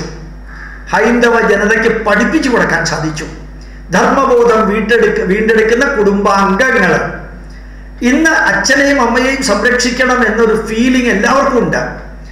അച്ഛനെ തകർത്ത് കൊല്ലുന്നതും അമ്മയെ തകർക്കുന്നതും അമ്മയെ കല്യാണം കഴിക്കുന്നത് വരെ കരുനാഗപ്പള്ളിയിൽ ഒരു സ്ഥലത്ത് വന്നപ്പോഴും ഹൈന്ദവ ജനത മൂക്കത്ത് വരവ് വിരൽ വെക്കുകയാണ് ചെയ്തത്. നമ്മളുടെ എന്തുകൊണ്ട് ഈ ഹിന്ദുക്കൾക്ക് ഇത് സംഭവിക്കുന്നു? മറ്റു മതങ്ങളിൽ പലതും ഉണ്ട്. അച്ഛന്മാരും കർദിനാൾമാരും ബിഷപ്പുമാരും മൗലവിമാരും എല്ലാം മകളെ തന്നെ ഉപയോഗിക്കുകയോ ഭാര്യയെ ഉപയോഗിക്കുകയോ കന്യാസ്ത്രീകളെ ഉപയോഗിക്കുകയോ അതെല്ലാം ചെയ്യുന്നുണ്ട്. ഇവിടെ അങ്ങനെ പതിവില്ല. ഇവിടെ അങ്ങനെ ഏതെങ്കിലും സ്വാമി വല്ലതും ചെയ്തിട്ടുണ്ടെങ്കിൽ സ്വാമിയുടെ പോവാൻ പാടില്ലാത്ത അവയവം വരെ കളഞ്ഞിരിക്കുന്ന ചങ്കൂറ്റമുള്ളവരാണ് ഹിന്ദുക്കൾ ആ ഹിന്ദുക്കളുടെ കുടുംബാന്തരീക്ഷത്തിൽ വലിയ മാറ്റം വന്നിട്ടുണ്ട്. ധർമ്മബോധം വീണ്ടെടുക്കുന്ന കുടുംബാന്തരീക്ഷം നിങ്ങൾക്ക് കാണാം. ഇന്ന് ബാലഗോകുലത്തിലൂടെ ചെറിയ ചെറിയ കുട്ടികളെ കാര്യമായിട്ട് പഠിക്കുന്നു. അതുപോലെ ഈ അമൃതാനന്ദമയിയുടെ കർമ്മമണ്ഡലത്തിൽ കുട്ടികൾ സായിബാബയുടെ കർമ്മമണ്ഡലത്തിലെ കുട്ടികൾ അതുപോലെ ശ്രീ ശ്രീ രവിശങ്കറിന്റെ കീഴിൽ അവരുടെ സംഘടനയിലൂടെ കുട്ടികൾ ബ്രഹ്മകുമാരിശിലൂടെ കുട്ടികൾ ചിക്ക ചിന്മയാമിഷനിലൂടെ ഭാരതീയ വിദ്യാഭവനിലൂടെ ചെറിയ ചെറിയ ആശ്രമങ്ങളിലൂടെ നിങ്ങൾ അന്വേഷിച്ചു നോക്കുക. നമുക്ക് ചിന്തിക്കാൻ സാധിക്കുന്നതിലപ്പുറത്ത് ഈ കുട്ടികളിലെ ധർമ്മബോധം മാതാപിതാക്കൾ കൊടുക്കാൻ പറ്റാത്തത് കുട്ടികൾക്ക് പരോക്ഷമായിട്ട് കൊടുക്കാനുള്ള ഒരു മാനസികാവസ്ഥ മാതാപിതാക്കൾക്ക് ഉണ്ടായിട്ടുണ്ട്. ഇത് മാതാപിതാക്കൾ പഠിക്കുന്നുമുണ്ട്. നമ്മൾ ക്ലാസ് എടുക്കുമ്പോഴത്തേക്കും നമുക്കത് കാണാൻ സാധിക്കും. പതിനായിരക്കണക്കിന് ഇരുപതിനായിരക്കണക്കിന് വ്യക്തികളാണ് ഇത് കേൾക്കുന്നത് കാണുന്നത്. ഇത് പഠിക്കാനായിട്ട് ട്രിവാൻഡ്രം പബ്ലിക് ലൈബ്രറി പോകണ്ട കേരള യൂണിവേഴ്സിറ്റി ലൈബ്രറി പോകണ്ട. നമുക്ക് നമ്മുടെ പോക്കറ്റിലുള്ള മൊബൈൽ ഫോണിലുണ്ട് വേദമന്ത്രങ്ങൾ കേൾക്കുന്ന പതിനായിരക്കണക്കിന് വ്യക്തികളുണ്ട്. കാരണം വേദം പഠിക്കാൻ വേദപണ്ഡിതന്റെ അടുത്ത് ചമ്രം പടിഞ്ഞിരുന്ന് പഠിക്കണ്ട. കാലം മാറി. ധർമ്മബോധം വീണ്ടെടുക്കാൻ വേദം കേൾക്കണമെന്ന് പറഞ്ഞാൽ മൊബൈൽ ഫോണിൽ കാറിൽ ഡ്രൈവ് ചെയ്യുമ്പോൾ അച്ഛനും അമ്മയും കുടുംബാംഗങ്ങളും ഇരിക്കുമ്പോൾ ഭഗവത്ഗീത ശ്ലോകങ്ങളും വേദമന്ത്രങ്ങളും പുരുഷ സൂക്തവും നമ്മുടെ രാമായണത്തിന്റെ പ്രഭാഷണങ്ങളും എല്ലാം കേൾക്കാൻ ഇന്ന് കാറിനകത്ത് റെഡ് സിഗ്നൽ വരുമ്പോൾ ആ റെഡ് സിഗ്നൽ പോലും ബോറടിക്കാത്ത വിധത്തിൽ പ്രയോജനപ്പെടുത്താൻ സാധിക്കുന്ന വിധത്തിൽ ഇന്ന് സോഷ്യൽ മീഡിയയിലൂടെ നമ്മുടെ പൈതൃകം പഠിക്കാൻ സാധിക്കുന്ന ഒരു അവസ്ഥയിലേക്ക് നമ്മുടെ മൊബൈൽ ഫോൺ എത്തിച്ചിട്ടുണ്ട്. ഏത് ഹെഡ്ലോഡ് വർക്കറുടെ കയ്യിലുമുണ്ട്? ആൻഡ്രോയിഡ് ഫോൺ അതിങ്ങനെ കേരളത്തിൽ ഫ്ലറിഷിയാണ് ഭാരതത്തിൽ ഫ്ലറിഷിയാണ് ഒരു വർഷം മുമ്പ് കൊറോണയ്ക്ക് മുമ്പ് തന്നെ ഞാൻ പറയുമായിരുന്നു നൂറ്റി മുപ്പത്തെട്ട് കോടി ജനങ്ങളുള്ള ഭാരതത്തിൽ കുഞ്ഞു കുട്ടി ഉൾപ്പെടെ നൂറ്റി മുപ്പത്തെട്ട് കോടി ജനങ്ങളുള്ള ഭാരതത്തിൽ നൂറ്റി അറുപത്തൊന്ന് കോടി മൊബൈൽ ഫോൺ ഉണ്ട് ഒരു വ്യക്തിക്ക് രണ്ട് മൂന്ന് നാല് മൊബൈൽ ഫോൺ ഉണ്ട് അങ്ങനെ നമ്മൾ മൊബൈൽ ഫോണും അത് ആൻഡ്രോയിഡും അത് ഇൻസ്റ്റാൾമെന്റിൽ ലഭിക്കുകയും ചെയ്തപ്പോഴത്തേക്കും ഏത് പ്രാർത്ഥനയും കേൾക്കാൻ കുടുംബസമയത്ത് സാധിക്കുന്നു. അതിനേക്കാൾ അതിനേക്കാൾ അതിനേക്കാൾ ശ്രേഷ്ഠമായ ചങ്കൂറ്റത്തോടു കൂടി അഭിമാനത്തോടു കൂടി പറയാൻ സാധിക്കുന്നത് ഇപ്രാവശ്യം പിതൃകർമ്മം ചെയ്തത് എനിക്ക് എന്റെ ജീവിതത്തിൽ മറക്കാൻ സാധിക്കാത്തൊരു അനുഭവമായിരുന്നു ശരിക്ക് മഴുവഞ്ചേരി മഹാദേവ ക്ഷേത്ര സന്നിധിയിൽ എണ്ണായിരത്തി അഞ്ഞൂറ് പേരാണ് കഴിഞ്ഞ പ്രാവശ്യം ഞാൻ പിതൃകർമ്മം നടത്തിച്ചത് മൂന്ന് മണി തൊട്ട് പതിനൊന്ന് മണി വരെ നാൽപ്പത്തഞ്ച് മിനിറ്റ് ഇന്റർവെല്ലിൽ പൂർണമായിട്ട് സങ്കല്പ മന്ത്രങ്ങൾ ഉൾപ്പെടെ ചൊല്ലിയിട്ട് ഈ പിതൃകർമ്മം ചെയ്തപ്പോൾ കിട്ടിയിരിക്കുന്ന ഒരു ഒരു ആത്മസംതൃപ്തി ആത്മനിർഭരത വിവരണാതീതമായിരുന്നു. പക്ഷേ അതിനേക്കാൾ അതിനേക്കാൾ അതിനേക്കാൾ നൂറ് ഇരട്ടിയാണ് കഴിഞ്ഞ ജൂലൈ മാസം ഇരുപതാം തീയതി ഈ കർക്കിടകത്തിലെ കറുത്ത പാവിന് പിതൃകർമ്മം നടത്തിയപ്പോൾ കാനഡയിലും അമേരിക്കയിലും യൂറോപ്പിലുള്ള അനവധി വ്യക്തികൾ കൂട്ടം കൂട്ടമായിട്ട് നമ്മൾ പിതൃകർമ്മ മന്ത്രം ചൊല്ലുന്നത് കേട്ട് അത് തന്നെ പറഞ്ഞ് പിതൃകർമ്മം നടത്തിയ ആ ഒരു scene photo video explanation messages അത് ശരിക്കും പറഞ്ഞാൽ നെഗറ്റീവ് അർത്ഥത്തിലല്ല പോസിറ്റീവ് അർത്ഥത്തിൽ ചങ്കിടിക്കുന്നതായിരുന്നു. അപ്പൊ ഈ അച്ഛനും അമ്മയും പ്രായമായവരും പിതൃകർമ്മം നടത്താൻ ശംഖുമുഖത്തേക്കും പരശുരാമ ക്ഷേത്രത്തിലേക്കും കോവളം ബീച്ചിലേക്കും എല്ലാം പോയി പാപനാശത്തിലേക്കും ശിവഗിരിയിലേക്കും പോയിട്ട് പിതൃകർമ്മം നടത്തി വീട്ടിലേക്ക് വരുമ്പോ വീട്ടിൽ ഈ പിതൃകർമ്മ ദിവസം വാവുബലി നടത്തുന്ന ദിവസം പായസവും സാമ്പാറും ഓലനും എലിശ്ശേരിയും പുളിശ്ശേരിയും പപ്പടവും എല്ലാം കൂടി ചേർന്നിട്ടുള്ള ഊണ സദ്യയാണ്. അപ്പൊ ഈ കുട്ടികളെ സംബന്ധിച്ചിടത്തോളം കുട്ടികളെ സംബന്ധിച്ചിടത്തോളം കർക്കിടക വാവുബലി എന്ന് പറഞ്ഞാൽ സദ്യയാണ്. അവിടെ ഈ പിതൃകർമ്മവും ഇല്ല മാതൃവംശേ മൃതായേഷ്ട പിതൃവംശേ തഥയുവജ ഗുരു ശുചിരബന്ധൂനാം യേജാന്യേ ബാന്ധവാ മൃത ഏമേ കുലേ ലുപ്തപിണ്ഡാ പുത്രദാന വിവർജിത ക്രിയ ലോപഹതാശ്ചൈവ ജാത്യന്ത പങ്കവസ്തുത. വിരൂപ ആമഗർഭാശ്ച ജ്ഞാതാ ജ്ഞാതാകുലേമ ഭൂമൗദത്തേന വരിനാ തൃപ്തായാന്തു പുരാഗതി ഇതിന്റെ അർത്ഥം വ്യാപ്തി ഒന്നും ആർക്കും അറിഞ്ഞൂടാ കുട്ടികൾക്ക് ഒന്നും അറിഞ്ഞൂടാ അച്ഛനും അമ്മയും പോയിട്ട് എവിടെയെങ്കിലും എള്ളിടുക കുറച്ച് പൂവിടുക ചെറുകിട ഇടുക തുളസി ഇടുക. എന്നിട്ട് ആ പിണ്ടം തലയിൽ വെച്ചുകൊണ്ട് പോയിട്ട് കടലിൽ മുങ്ങി വരിക ദക്ഷിണയും കൊടുക്കാം അങ്ങനെ ചെയ്യുന്നതിന് പകരം പകരം പകരം ഇപ്രാവശ്യം ജൂലൈ ഇരുപതാം തീയതി കർക്കിടകത്തിലെ കർത്തഭാവിന് വീട്ടിൽ കുടുംബാംഗങ്ങൾ ഒരുമിച്ചിരുന്ന് പിണ്ണം വെച്ചു. വീട്ടിൽ ഒരുമിച്ചിരുന്ന് പിതൃകർമ്മം നടത്തി. മക്കൾക്ക് മനസ്സിലായി പിതൃകർമ്മം എന്താണെന്ന്. ഇത്രയും കാലം ഇത് ക്രിസ്ത്യാനികൾക്ക് സാധിക്കില്ല ഇത് മുസ്ലിങ്ങൾക്ക് സാധിക്കില്ല ഇത് ഹിന്ദുവിനെ സാധിക്കുള്ളൂ. കുടുംബാംഗങ്ങൾ ഒരുമിച്ചിരുന്ന് പിതൃകർമ്മം എന്താണെന്ന് നമ്മുടെ വീട്ടിലുള്ള കുട്ടികൾ മനസ്സിലായി. നമ്മൾ നമ്മളുടെ അച്ഛനോടും അമ്മയോടും കാണിക്കുന്ന ഭക്തി എന്താണെന്ന് നമ്മുടെ മക്കൾക്ക് മനസ്സിലായി അവർ നമ്മളോട് കാണിക്കേണ്ട ഭക്തിയും ഡിവോഷനും ഡെഡിക്കേഷനും എന്താണെന്ന് നമ്മുടെ മക്കൾക്ക് മനസ്സിലാക്കി കൊടുക്കാൻ സാധിച്ചു. ആ ആ സോഷ്യൽ മീഡിയയും കൊറോണയും കൊറോണ ഇല്ലായിരുന്നെങ്കിൽ സോഷ്യൽ മീഡിയ വർക്ക് ചെയ്യില്ല. സോഷ്യൽ മീഡിയ ഇല്ലായിരുന്നെങ്കിൽ കൊറോണയും വർക്ക് ചെയ്യില്ല. എന്തൊരു അനുഗ്രഹം നമുക്ക് ജഗതീശ്വരനും ഭാരതമാതാവും ഋഷീശ്വരന്മാരും നമ്മുടെ പൂർവ പിതാമഹന്മാരും തന്നത് എന്നുള്ളത് നോക്കാം. എന്ത് ചങ്കൂറ്റത്തോടു കൂടിയാണ് നമുക്ക് ചെയ്യാൻ സാധിച്ചത്. അത് കഴിഞ്ഞു കർക്കിടകത്തിലെ രാമായണം. വിവരണാതീതമാം വിധത്തിൽ. നാൽപ്പത്തി എട്ട് സ്പീച്ചാണ് ഞാൻ മിഡിൽ ഈസ്റ്റിലേക്ക് മാത്രം കൊടുത്തത് രാമായണ മാസത്തിൽ. അവർ അറുന്നൂറും എഴുന്നൂറും എണ്ണൂറും പേര്. നമ്മൾ നമ്മൾ സൂം വേണ്ട ചൈനയുടെ സൂം വേണ്ട ഇന്ത്യയുടെ മതി എന്ന് പറഞ്ഞു. നമ്മൾ ഗൂഗിൾ മീറ്റിലും ഫേസ് പേജിലും സർവ രീതിയിലും അവർ തരുന്ന ലിങ്കിൽ കയറി നമ്മൾ ക്ലാസ് എടുക്കാം. എല്ലാ ദിവസവും ഇപ്പോൾ ആസാമിലേക്കും ചാണ്ടിഗഡിലേക്കും എല്ലാ ക്ലാസ് ഉണ്ട് സോഷ്യൽ മീഡിയയിലൂടെ. നാളെയുണ്ട് ഇന്ന് വൈകുന്നേരം ഉണ്ട്. ഞാൻ നിങ്ങളോട് പറഞ്ഞത് രാമായണ മാസം നമ്മൾ കർക്കിടകത്തിലെ നാൽപ്പത്തിരണ്ട് ദിവസം ആചരിച്ചവരുണ്ട്. കർക്കിടകത്തിന് മുപ്പത്തിരണ്ട് ദിവസമേ ഉള്ളൂ. എന്നാലും നാൽപ്പത്തിരണ്ട് ദിവസം രാമായണ മാസം ആചരിച്ച മിഡിൽ ഈസ്റ്റിലെ ധാരാളം വ്യക്തികളുണ്ട്. ഒന്ന് ആലോചിച്ച് നോക്കൂ. രാമായണ മാസം ആചരിക്കുന്നതിന് പ്രഭാഷണം നടത്തുന്നതിന് കേരളത്തിൽ നിന്ന് പ്രഭാഷകരെ മിഡിൽ ഈസ്റ്റിൽ കൊണ്ടുപോയിട്ട് അവരെ താമസിപ്പിച്ചിട്ട് അവർക്ക് ഭക്ഷണം കൊടുത്തിട്ട് രണ്ട് മണിക്കൂറോ ഒരു മണിക്കൂറോ പ്രഭാഷണം നടത്താൻ ഇത് കഴിഞ്ഞിട്ട് ഇങ്ങോട്ടേക്ക് കയറ്റി അയച്ച് വേറൊരുവനെ ഇറക്കുമതി ചെയ്ത് രാമായണത്തെക്കുറിച്ച് പ്രഭാഷണം നടത്തിക്കാൻ ചെലവ് എത്രയാണ് ചെലവ് എത്രയാണ് ഇപ്പൊ ചെലവ് എത്രയാണ് ഹിന്ദുവിന് സാധിച്ചു രാമായണ മാസം ചങ്കൂറ്റത്തോടുകൂടി വീട്ടിൽ ആഘോഷിക്കാൻ കുട്ടികളെ കേൾപ്പിക്കാൻ. ഇത് ഇതിനേക്കാളും വലിയ പുണ്യം എന്താ ഉള്ളത് ലോകത്തിൽ ഏത് മതത്തിനായിട്ട് സാധിക്കുക? ഏത് വിഭാഗത്തിനായിട്ട് സാധിക്കുക? ഏത് ജിഹാദികൾക്കായിട്ട് സാധിക്കുക? വെറുതെ ചിന്തിച്ചു നോക്കൂ. രാമായണ മാസം കഴിഞ്ഞ് ബാലഗോകുലത്തിന്റെ കൃഷ്ണാഷ്ടമി. വീടുകൾ മുഴുവനും ഡെക്കറേറ്റ് ചെയ്ത് ശ്രീകൃഷ്ണന്റെ ജന്മം അതിഗംഭീര ക്രിസ്തുമസിനേക്കാൾ ഗംഭീരമായിട്ട് ആഘോഷിക്കാൻ ഹിന്ദുക്കൾക്ക് സാധിച്ചു. ശ്രീകൃഷ്ണൻ എന്താണ് എന്നുള്ളത് മനസ്സിലാക്കി കൊടുക്കാൻ സോഷ്യൽ മീഡിയയിലൂടെ സാധിച്ചു. അതല്ലേ മാറ്റം? രാമായണം മാറി അതുപോലെ തന്നെ ഇത് മാറി പിതൃകർമ്മം മാറി അതിൽ ഗംഭീരമായ സോഷ്യൽ മീഡിയ വന്നു. പിന്നെ ഒക്ടോബർ മാസത്തിലെ ദീപാവലി പൊങ്കാല നമ്മൾ നടത്തി എല്ലാ വീടുകളിലും. ഇരുപതിനായിരം പേര് പങ്കെടുത്തു ദീപാവലി പൊങ്കാല. ആരും ഇതുവരെ നടത്താത്തതാണ്. നമ്മളാണ് ആദ്യം തുടങ്ങിയത്. പ്രത്യേക രീതിയിലാണ് തുടങ്ങിയത്. ആർക്ക് വേണമെങ്കിലും വരാം. അവർക്ക് ഏഴര ഏഴ് മണിക്ക് അടുപ്പ് കൂട്ടാം.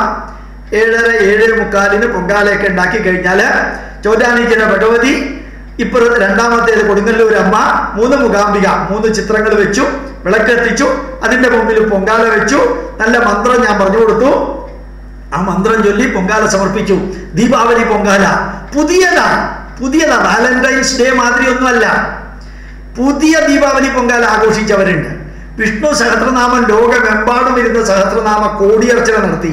അഞ്ചു കോടി നാമങ്ങളാ ജപിച്ചത് ഒറ്റ ജപത്തിൽ. അഞ്ചു കോടി. ഇവിടെ നിന്ന് ഞാൻ തന്നെയാ ചെയ്തത്. ഗോപാലകൃഷ്ണൻ ആറു മണിക്കുള്ള തള്ളു പറയുകയാണെന്ന് വിചാരിച്ചേക്കല്ലേ? തള്ളല്ല ഇത്. ശരിക്കും നടന്നതാ. എത്ര ഭംഗിയായിട്ട് നമുക്ക് സഹസ്രനാമ അർച്ചന വീടുകളിൽ നടത്താൻ സാധിക്കാം. പിതൃകർമ്മം വീട്ടിൽ നടത്താൻ സാധിക്കാം. ജന്മാഷ്ടമി വീടുകളിൽ നടത്താൻ സാധിക്കാം.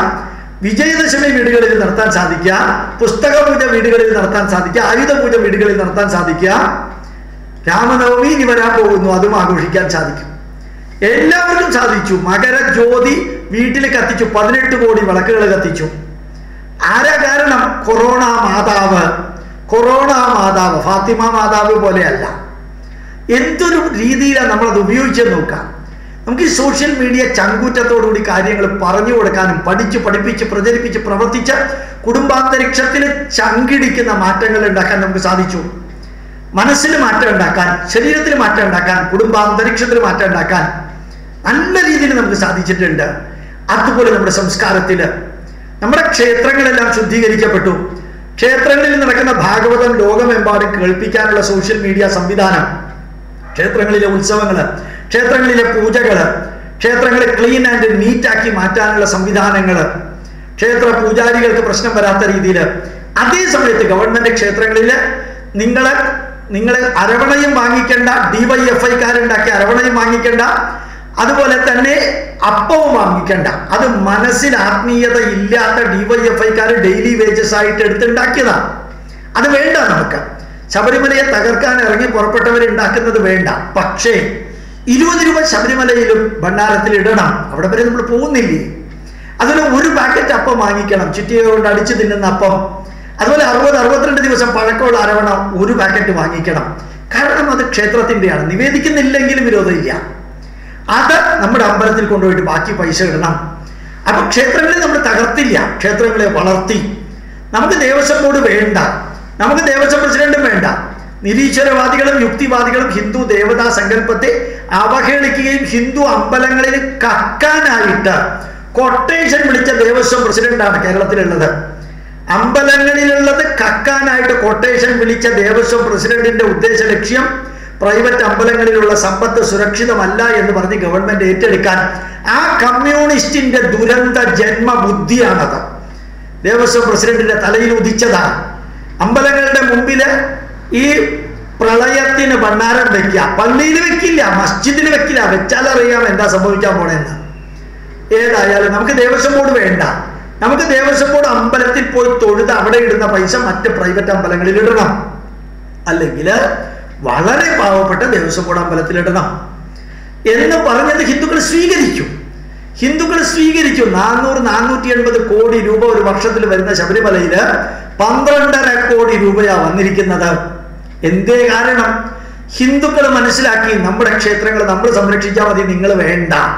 നിങ്ങൾ വേണ്ട. കേരള ഗവൺമെന്റിനെ കൊണ്ട് നൂറ് കോടി കുടപ്പിച്ചു അതുകൊണ്ട് മതിയാവില്ല വേണ്ട. നിങ്ങൾ ദേവസ്വം അമ്പലങ്ങൾ പൂട്ടിയിട്ടോ ഞങ്ങൾക്ക് കുഴപ്പമില്ല. ഗുരുവായൂരപ്പൻ ഞങ്ങളുടെ ഹൃദയത്തിലുണ്ട്. യേശുദാസ് ഗുരുവായൂരപ്പനെ പറയാറില്ലേ? ഒരു ഗുരുവായൂർ അമ്പലം നടയിൽ ഒരു ദിവസം ഞാൻ പോകും. ഗോപകുമാരനെ കാണും. ഗോപുരവാതിൽ തുറക്കും ഗോപുരകുമാരനെ കാണും. അന്ന് ഞങ്ങൾ കണ്ടോളാം. ഇന്ന് നിങ്ങൾ ഗുരുവായൂരപ്പ കൃഷ്ണൻ ഇരിക്കുന്നത് ആ വിളക്കെത്തിക്കുന്ന സ്ഥലത്താണോ എന്ന് ചോദിച്ചിറങ്ങി പുറപ്പെട്ടവന്റെ കീഴിലുള്ള അമ്പലങ്ങളിലേക്ക് ഞങ്ങൾ പോകുന്നില്ല. നാനൂറ് പേർക്ക് വെർച്വൽ ക്യൂവിൽ നിൽക്കാമെന്ന് പറഞ്ഞിട്ട് കൊടുങ്ങല്ലൂർ ഭഗവതി ക്ഷേത്രം തുറന്നിട്ട് മൂന്ന് പേരാണ് അവിടെ വന്നത്. നിങ്ങളുടെ ഓരോ ഓശാരും ഞങ്ങൾക്ക് വേണ്ട. നിങ്ങളുടെ തറവാട്ട് സ്വത്തൊന്നും അല്ല. കമ്മ്യൂണിസ്റ്റുകാരുടെ തറവാട്ട് സ്വത്തൊന്നും അല്ല അത്. അത് ഞങ്ങളുടെയാണ്. ഹിന്ദുക്കളുടെ പ്രോപ്പർട്ടിയാണ് അത് സെക്കുലർ അല്ല. മറ്റു പലർക്കും ഇതിൽ നിന്ന് കൈയിട്ട് വാരി ഈ സെക്കുലറിസം കാണിക്കാൻ അഞ്ചു കോടി രൂപ ഗുരുവായൂർ അമ്പലത്തിൽ നിന്ന് എടുത്തതിനെ കോടതിയിൽ ചെന്ന് തിരിച്ചു മേടിപ്പിക്കാൻ സാധിച്ചു ഹിന്ദുക്കൾക്ക്. നമ്മുടെ ഹിന്ദു ക്ഷേത്രങ്ങളെ തിരിച്ചു കൊണ്ടുവരാൻ സാധിച്ചു. ഇനിയും സാധിക്കും. ധർമ്മബോധം വീണ്ടെടുക്കുന്ന ഹിന്ദുവിന് തീർച്ചയായിട്ടും ക്ഷേത്രങ്ങൾ വീണ്ടെടുക്കാൻ സാധിക്കും. എല്ലാം നമുക്ക് വീണ്ടെടുക്കാൻ സാധിക്കും. ഉറപ്പാണ്. അതേപോലെയുള്ള മാറ്റം നമ്മുടെ സംഘടനകളിലുണ്ട്. സേവാഭാരതി ആർ എസ് എസിന്റെ സംഘടനയാണ്. ചെറുകോൽ പുഴയിലെ ഈ പ്രഭാഷണം കേൾക്കാൻ വന്നിരിക്കുന്നവർക്ക് ആർ എസ് എസ് എന്താണെന്ന് അറിയാം. നിങ്ങൾക്ക് ഇഷ്ടമുണ്ടെങ്കിലും ഇഷ്ടമില്ലെങ്കിലും ഹൈന്ദവ ചൈതന്യത്തിൽ പ്രവർത്തിച്ച് ഒരു പ്രധാനമന്ത്രിയെയും പ്രസിഡന്റിനെയും ലോക്സഭാ സ്പീക്കറെയും അഞ്ഞൂറ്റി അൻപത്തിനാല് എം പിമാരെയും ആയിരത്തി എണ്ണൂറോളം എം എൽ എമാരെയും പതിനെട്ട് ഗവർണർമാരെയും പതിനൊന്ന് മുഖ്യമന്ത്രിമാരെയും ഉണ്ടാക്കാൻ കപ്പാസിറ്റി ഉള്ള ഒരു ആർ എസ് എസിന് ഇന്ന് കേരളത്തിലെ സേവാഭാരതി എന്ന സംഘടനയിലൂടെ എത്ര കോടിക്കണക്കിന് വ്യക്തികൾക്കാണ് സഹായങ്ങൾ എത്തിക്കാൻ സാധിച്ചത്? സഹായം കോടിക്കണക്കിന് എന്ന് പറയുമ്പോൾ എക്സാജറേഷൻ അല്ല തള്ളല്ല. പ്രളയം വന്നപ്പോൾ ഉരുൾപൊട്ടൽ വന്നപ്പോൾ കൊറോണ വന്നപ്പോൾ നിപ്പ വന്നപ്പോൾ വീട് ഒലിച്ചു പോയപ്പോൾ മുസ്ലിം എന്നോ ക്രിസ്ത്യാനി എന്നോ കമ്മ്യൂണിസ്റ്റുകാരനെന്നോ പോലും നോക്കാതെ ഹിന്ദുക്കൾക്ക് ചങ്കൂറ്റത്തോടുകൂടി പ്രവർത്തിക്കാൻ സാധിച്ചു. ആർ എസ് എസിന്റെ പരിവാര സംഘടനകളിലൂടെ എല്ലാവരും എല്ലാവരും ഒരുമിച്ച് പ്രവർത്തിച്ചു. അവിടെ നേതാവിന് കീ ജയ് വിളിയൊന്നുമില്ല. നേതാവിന്റെ മകൻ കള്ളക്കടത്തും അതുപോലെ തന്നെ മന്ത്രിമാരുടെ കൂട്ടത്തിലുള്ള നേതാക്കന്മാര് ഈന്തപ്പഴത്തിനുള്ളിൽ സ്വർണക്കടത്തും വിശുദ്ധ ഗ്രന്ഥങ്ങൾ കടത്തലും റിവേഴ്സ് ഹവാല കടത്തലും ഡോളർ കടത്തലും അതുപോലെ തന്നെയുള്ള ദുഷ്കർമ്മങ്ങൾ ചെയ്തിട്ട് വിലസിയവരുടെ മക്കളോ വിലസിയവരോ അല്ല അതിന്റെ നേതാക്കന്മാര് സത്യം ധർമ്മം നീതി ന്യായത്തിലൂടെ പോകുന്നവര്. അതുകൊണ്ട് തന്നെ അവരുടെ പുറകിൽ ആൾക്കാർ കൂടുന്നതും അതുകൊണ്ട് തന്നെ സംഘടന വളരുന്നതും അതുകൊണ്ട് തന്നെ സേവാഭാരതിക്ക് കഴിഞ്ഞതിന്റെ മുമ്പിലത്തെ വർഷം സെപ്റ്റംബർ മാസം ഒന്നാം തീയതി രാവിലെ ആറ് തൊട്ട് വൈകുന്നേരം ആറ് മണി വരെ രണ്ട് ലക്ഷത്തോളം പേര് കേരളത്തെ ശുദ്ധീകരിക്കാനായിട്ട് ഇറങ്ങി പുറപ്പെടുന്നത് ഒരൊറ്റ വിസിൽ കൊണ്ടാണ്. തിന്നാൻ chicken biryani mutton biryani G Sreekumar പറഞ്ഞ മാതിരി കൊടുത്തിട്ടൊന്നുമല്ല. അല്ലാതെ തന്നെയാണത് അവർ വന്നത്. രാഷ്ട്രായ സ്വഹ രാഷ്ട്രായ ഇതം നമമ ബാലഗോകുലവും കസറി വളരുന്നുണ്ട്. എന്തേ കാരണം? കമ്മ്യൂണിസ്റ്റ് പാർട്ടിയിലുള്ളവരുടെ മക്കൾ ഇഷ്ടംമാതിരി ശ്രീകണ്ഠേശ്വര ക്ഷേത്രത്തിന്റെ അടുത്തുള്ള ബാലഗോകുലത്തിൽ പ്രവർത്തിക്കുന്നത് ശങ്കർ എന്നോട് പറഞ്ഞിട്ടുണ്ട്. എല്ലാവരും മാറുന്നു. ഞങ്ങളോ തൊലഞ്ഞു. ഞങ്ങളുടെ മക്കളെങ്കിലും നന്നാവണം എന്ന് പറഞ്ഞിട്ടാ ഈ ബാലഗോകുലത്തിലേക്ക് അയക്കുന്നത്. എ ബി വി പിയിലേക്ക് പോകുന്നവരുണ്ട്. രാഷ്ട്രീയം സംശുദ്ധമായിട്ട് ബി ജെ പിയിലേക്ക് പോകുന്നവരുണ്ട്. ഹിന്ദു ബോധമുള്ളവർ തന്നെയാണ്. ഇപ്പൊ ക്രിസ്ത്യാനികൾക്ക് മനസ്സിലായി തുടങ്ങിയിട്ടുണ്ട്. ജീവിക്കണമെങ്കിൽ ഇതുമാതിരിയുള്ള ജിഹാദികളിൽ നിന്നും അതുപോലെ തീവ്രവാദികളിൽ നിന്നും രക്ഷപ്പെടണമെങ്കിൽ ക്രിസ്ത്യാനികളും ഹിന്ദുക്കളും ഒരുമിച്ച് ചേരണമെന്ന് അങ്ങനെ തോന്നാനുണ്ടായ കാരണം എന്താ? ഹിന്ദുക്കളെ ഹിന്ദുക്കളുടെ കാര്യത്തിൽ അഭിമാനിക്കാൻ തുടങ്ങി. ഹൈന്ദവ ഗ്രന്ഥത്തിലും ഹൈന്ദവ പൈതൃകത്തിലും ഹൈന്ദവ സംസ്കാരത്തിലും ഹൈന്ദവ ആചാരാനുഷ്ഠാനങ്ങളിലും ഹിന്ദുക്കൾക്ക് അഭിമാനം തോന്നിയപ്പോൾ ക്രിസ്ത്യാനികൾക്ക് തോന്നി നമ്മൾ പലതും അവരുടെയാണ് അടിച്ചു മാറ്റിയിട്ട് നിലനിന്നുകൊണ്ടിരിക്കുന്നത്. ലോകത്തിൽ എല്ലായിടത്തും ക്രിസ്തുമതം ചവറ്റുകൊട്ടയിലിട്ട് കമ്പോസ്റ്റ് വളമാക്കി വള ചെടികൾക്ക് ഇട്ട് കൊടുക്കുന്ന കാലത്ത് കേരളത്തിലും ഭാരതത്തിലും ക്രിസ്തുമതം നിലനിൽക്കാൻ കാരണം പേരും അതുപോലെയുള്ള പലതും ബൈബിൾ വേദമാക്കി അച്ഛന്മാരെ പുരോഹിതന്മാരാക്കി ഒരു ചുക്കു ചുണ്ണാമ്പ് പറയാത്ത സ്ത്രീകളെ പിഴപ്പിച്ച് നടക്കുന്ന പലതിനെയും വൈദികരാക്കി അങ്ങനെയുള്ള ഹിന്ദുവിന്റെ പേരെടുത്തിട്ട് വളർന്ന് നിലനിൽക്കുന്ന ആചാരങ്ങളും വിഷുവും ദീപാവലിയും അതുപോലെ ഓരോന്നും ഹിന്ദുക്കളുടെ അടുത്ത് അടിച്ചു മാറ്റി ജീവിക്കുന്ന ക്രിസ്തു സഹസ്രനാമം ക്രിസ്തു നാരായണീയം ക്രിസ്തു സുപ്രഭാതം. തന്നെത്താനെ ബൈബിളിൽ ഒരു ചുക്കും ചുണ്ണാമ്പും ഇല്ലെന്ന് അറിയാവുന്നവർ ഇവിടെ നിന്ന് എടുത്ത് മാറ്റി ഏതായാലും ഹിന്ദുക്കളുടെ തന്നെ കൊണ്ട് നമുക്ക് ജീവിക്കാൻ പറ്റുള്ളൂ എന്ന് മനസ്സിലാക്കിയവർക്ക് ഇപ്പോൾ ഒരു തോന്നൽ. നമുക്ക് ഹിന്ദുക്കളുടെ കൂട്ടത്തിൽ കൂടാമെന്ന്. അത് ഹിന്ദുവിന്റെ ധർമ്മബോധം വീണ്ടെടുത്ത ഹിന്ദുവിന്റെ പ്രത്യേകതയാണ്. ചങ്കൂറ്റത്തോടുകൂടി ചൈതന്യത്തോടുകൂടി പ്രവർത്തിച്ചപ്പോൾ സംഭവിച്ചതാണ് ക്രിസ്ത്യാനികൾക്ക് കൂടെ വരണമെന്ന് തോന്നലുണ്ടായത്. നമ്മുടെ ക്ഷേത്രങ്ങൾ ധന്യമാകുന്നു നമ്മുടെ ക്ഷേത്രങ്ങളെ പോലെ തന്നെ പള്ളികൾ വരുത്തുന്നു. ക്ഷേത്രങ്ങളിലുള്ള ആചാരങ്ങൾ പള്ളികളിലേക്ക് എടുക്കുന്നു. ക്ഷേത്രങ്ങളിലുള്ള മന്ത്രങ്ങൾ അവിടെ പള്ളികളിലേക്ക് എടുക്കുന്നു. എന്ത് ഇതൊക്കെ സംഭവിക്കാൻ കാരണം? ഈ ധർമ്മത്തിലുള്ളവര് പുനർ ഉത്ഥാനത്തിന് വിധേയമാകുന്നു. വളരെ ഗംഭീരമായിട്ട്. മാത്രമല്ല മതപരിവർത്തനത്തെ നഖശികാന്തം പച്ചയ്ക്ക് കരി പച്ചയ്ക്ക് എതിർക്കാൻ. മുസ്ലിങ്ങളിലെ ജാമിദ ടീച്ചറും ജബ്ബാർ മാഷും അലി അക്ബറെ പോലെയുള്ളവർ വരുന്നു. ഇവിടെയും വളരെ തോമസ് മുറ്റത്തുകുന്നേലിനെ പോലെയുള്ളവരും ആർ ടി സി ഐ ഐസക്കിനെ പോലെയുള്ളവരും അതുപോലെ തന്നെ ടി ടോണി മാത്യുവിനെ പോലെയുള്ളവരും ആയിരക്കണക്കിന് വ്യക്തികൾ പച്ചയ്ക്ക് ഭാഗികമായിട്ട് കോൺഗ്രസ്സുകാരനാണെങ്കിൽ ക്രിസ്ത്യാനിയാണെങ്കിൽ പോലും നമ്മുടെ സാജൻ സക്കറിയ അദ്ദേഹം യോഹന്നാൻ അച്ഛന്റെ കോടികളും അതുപോലെ തന്നെ ദിനകരന്റെ കോടികളും അച്ഛന്മാർ കാട്ടിക്കൂട്ടുന്ന സെക്ഷൽ അബ്യൂസും ഒക്കെ പച്ചയ്ക്ക് കരി പച്ചയ്ക്ക് വിളിച്ചു പറയാൻ ക്രിസ്ത്യാനികൾ തന്നെ മുമ്പോട്ട് വരാൻ കാരണം ഹിന്ദുക്കളുടെ ചങ്കൂറ്റമാണ്. ഹിന്ദുക്കളുടെ ധർമ്മബോധം കണ്ടിട്ടാണ്. ഒരു സന്യാസി ഇതുമാതിരി വല്ലതും ചെയ്തു കഴിഞ്ഞാൽ അയാളെ ഒരു കാരണവശാലും സമൂഹം വെച്ചു പൊറുപ്പിക്കില്ല ഹിന്ദു ധർമ്മത്തിൽ ഒരു സന്യാസിയോ ഹിന്ദു മത വർക്കറോ വല്ല തിന്മയും ചെയ്താൽ നിങ്ങൾക്കറിയാം ജനം ടി വിയിൽ ഒരു വ്യക്തി ഉണ്ടല്ലോ പേര് എനിക്ക് ഓർമ്മ വരണില്ല. അദ്ദേഹത്തിനെതിരെ എന്തോ ഒരു അലിഗേഷൻ വന്നു ഉടനെ തൽക്കാലം മാറി നിൽക്കാൻ പറഞ്ഞു. അങ്ങനെ പത്ത് നാൽപ്പത് ദിവസം മാറി നിന്നു. ഏത് തിന്മയും ഏത് അസംബന്ധവും ഏത് തറപ്പണിയും ചെയ്ത രാഷ്ട്രീയക്കാരും രാഷ്ട്രീയക്കാരുടെ മക്കളും കൂടെയുള്ളവരും ഭാര്യമാരും വിലസുമ്പോൾ അധർമ്മത്തിന്റെ കൂടെ നിൽക്കില്ല ഹിന്ദുക്കൾ. അധർമ്മം ചെയ്തവനെ സപ്പോർട്ട് ചെയ്യില്ല ഹൈന്ദവ ജനത എന്ന് പച്ചയ്ക്ക് മനസ്സിലാക്കാൻ ക്രിസ്ത്യാനികൾക്ക് സാധിക്കുന്നു. അതുകൊണ്ട് അഭയ കേസിലെ വിധി വന്നപ്പോ പ്രതികരിച്ചതിൽ തൊണ്ണൂറ് ശതമാനം ക്രിസ്ത്യാനികളാണ്. നല്ല വിധി എന്ന് പറഞ്ഞ.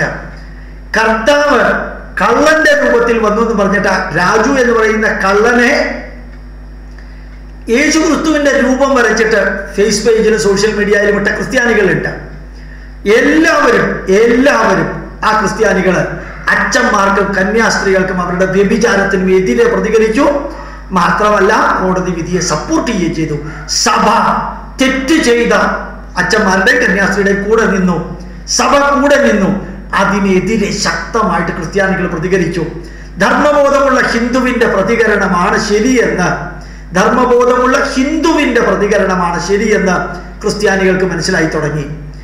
അതല്ലാതെ യേശു ക്രിസ്തുവിനെ കച്ചവടം നടത്തലും കുരിശിനെ കച്ചവടം നടത്തലും ബൈബിളിനെ കച്ചവടം നടത്തലും അതിന് സുഖമായിട്ട് ജീവിക്കലും അടിച്ചു മാറ്റലും വാരലും കമ്മീഷൻ എടുക്കലും പിന്നെയും ലൈംഗികമായി പീഡിപ്പിച്ച് നിലനിൽക്കലും മതത്തിന്റെ പേരിൽ കർത്താവിന്റെ തിരുസ്വരൂപങ്ങളാണെന്ന പേരിൽ കുട്ടികളെ പിഴപ്പിക്കലും ഒക്കെ ചെയ്തിരുന്നവനെതിരെ സഭ സപ്പോർട്ട് ഉണ്ടെങ്കിലും സമൂഹം എതിർക്കാൻ കാരണം ഹിന്ദുവിന്റെ മാറ്റത്തെ കണ്ടും കേട്ടുകൊണ്ടാണ് ഹൈന്ദവ സംസ്കാരത്തിൽ ഉണ്ടാവുന്ന മാറ്റമാണ്. അറിയണം നമ്മൾ ഓരോരുത്തരും. അതുപോലെ നമ്മളുടെ സംഘടനകളിൽ ആശ്രമങ്ങൾ തഴച്ചു വളരുന്നു. സ്വാമിമാര് സമൂഹത്തിൽ ഇറങ്ങി പുറപ്പെടുന്നു. നിങ്ങളും ഉപയോഗിക്കണം സ്വാമിമാരെ. ഹിന്ദു സംഘടനകളിൽ ആരെല്ലാം പ്രവർത്തിക്കുന്നുണ്ടോ അടുത്ത എലക്ഷൻ മുമ്പിൽ വെച്ച് പ്രവർത്തിക്കണം. ആരെ ജയിപ്പിക്കണം എന്നുള്ളതല്ല അതിനേക്കാൾ ഉപരി ആരെയൊക്കെ തോൽപ്പിക്കണം എന്നുള്ളത് കൂടി തീരുമാനിക്കണം. ഒരിക്കലും ജയിപ്പിക്കാൻ പാടില്ലാത്തവരെ എണ്ണി തോൽപ്പിക്കണം. അതാണ് വേണ്ടത്. അതിന് സാധിക്കും. ഇന്ന് ഹിന്ദു സംഘടനകൾക്ക് ഹിന്ദു പ്രസ്ഥാനങ്ങൾക്ക് ഹിന്ദു സ്ഥാപനങ്ങൾക്ക് സാധിക്കുന്നുണ്ട്. നമ്മുടെ സ്ഥാപനങ്ങളൊക്കെ അട്ടിമുടി മാറുന്നുണ്ട്. ഹൈന്ദവ ബോധമുള്ളവര് ഹൈന്ദവ സ്ഥാപനങ്ങളിൽ നിന്ന് സാധനങ്ങൾ വാങ്ങിക്കുക ഹൈന്ദവ സ്ഥാപനങ്ങളിലേക്ക് സ്ഥാനങ്ങൾ സാധനങ്ങൾ വിൽക്കുക ഹിന്ദുത്വ ബോധത്തോടു കൂടി ക്രയവിക്രയങ്ങൾ നടത്തുക. ഇതൊന്നും സാധാരണ ആരും പറയാറില്ല പറയേണ്ട ആവശ്യമില്ല. എങ്കിലും ഹിന്ദുക്കൾക്ക് നല്ല രീതിയിൽ നമ്മുടെ പ്രസ്ഥാനത്തിലും സ്ഥാപനങ്ങളിലുമുള്ള മാറ്റം വരുത്താൻ കഴിഞ്ഞിട്ടുണ്ട്. അതുപോലെ നമ്മുടെ രാഷ്ട്രം വിവരണാതീതമാം വിധത്തിൽ ഒരു ലെവലിലേക്കാണ് ഭാരതം പോകുന്നത്.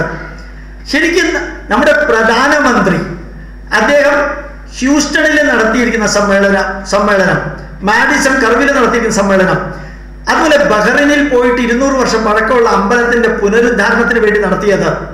സ്വിറ്റ്സർലൻഡിൽ പോയിട്ട് ഹേഗിൽ യു എൻ ഒയുടെ സെന്ററിലുള്ള അമ്പലത്തിൽ ചെന്ന് തൊഴുതപ്പോ ആ സ്വിറ്റ്സർലൻഡിലുള്ള യു എൻ ഒയിലെ പ്രതിനിധികൾ അദ്ദേഹത്തിന്റെ കൂടെ ഉണ്ടായിരുന്നു. അവിടെ ചെന്ന് തൊഴുത വേദമന്ത്രം ചൊല്ലിയിട്ട് പൂർണകുംഭം സ്വീകരിച്ച കാഴ്ച ഒരുപക്ഷെ ക്രിസ്ത്യാനികളായിട്ടുള്ള യു എൻ ഒ ഉദ്യോഗസ്ഥന്മാർക്ക് അത് ഫസ്റ്റ് ആയിട്ടുള്ള അനുഭവമാണ്. ഫസ്റ്റ് ആയിട്ടുള്ള അനുഭവമാണ്.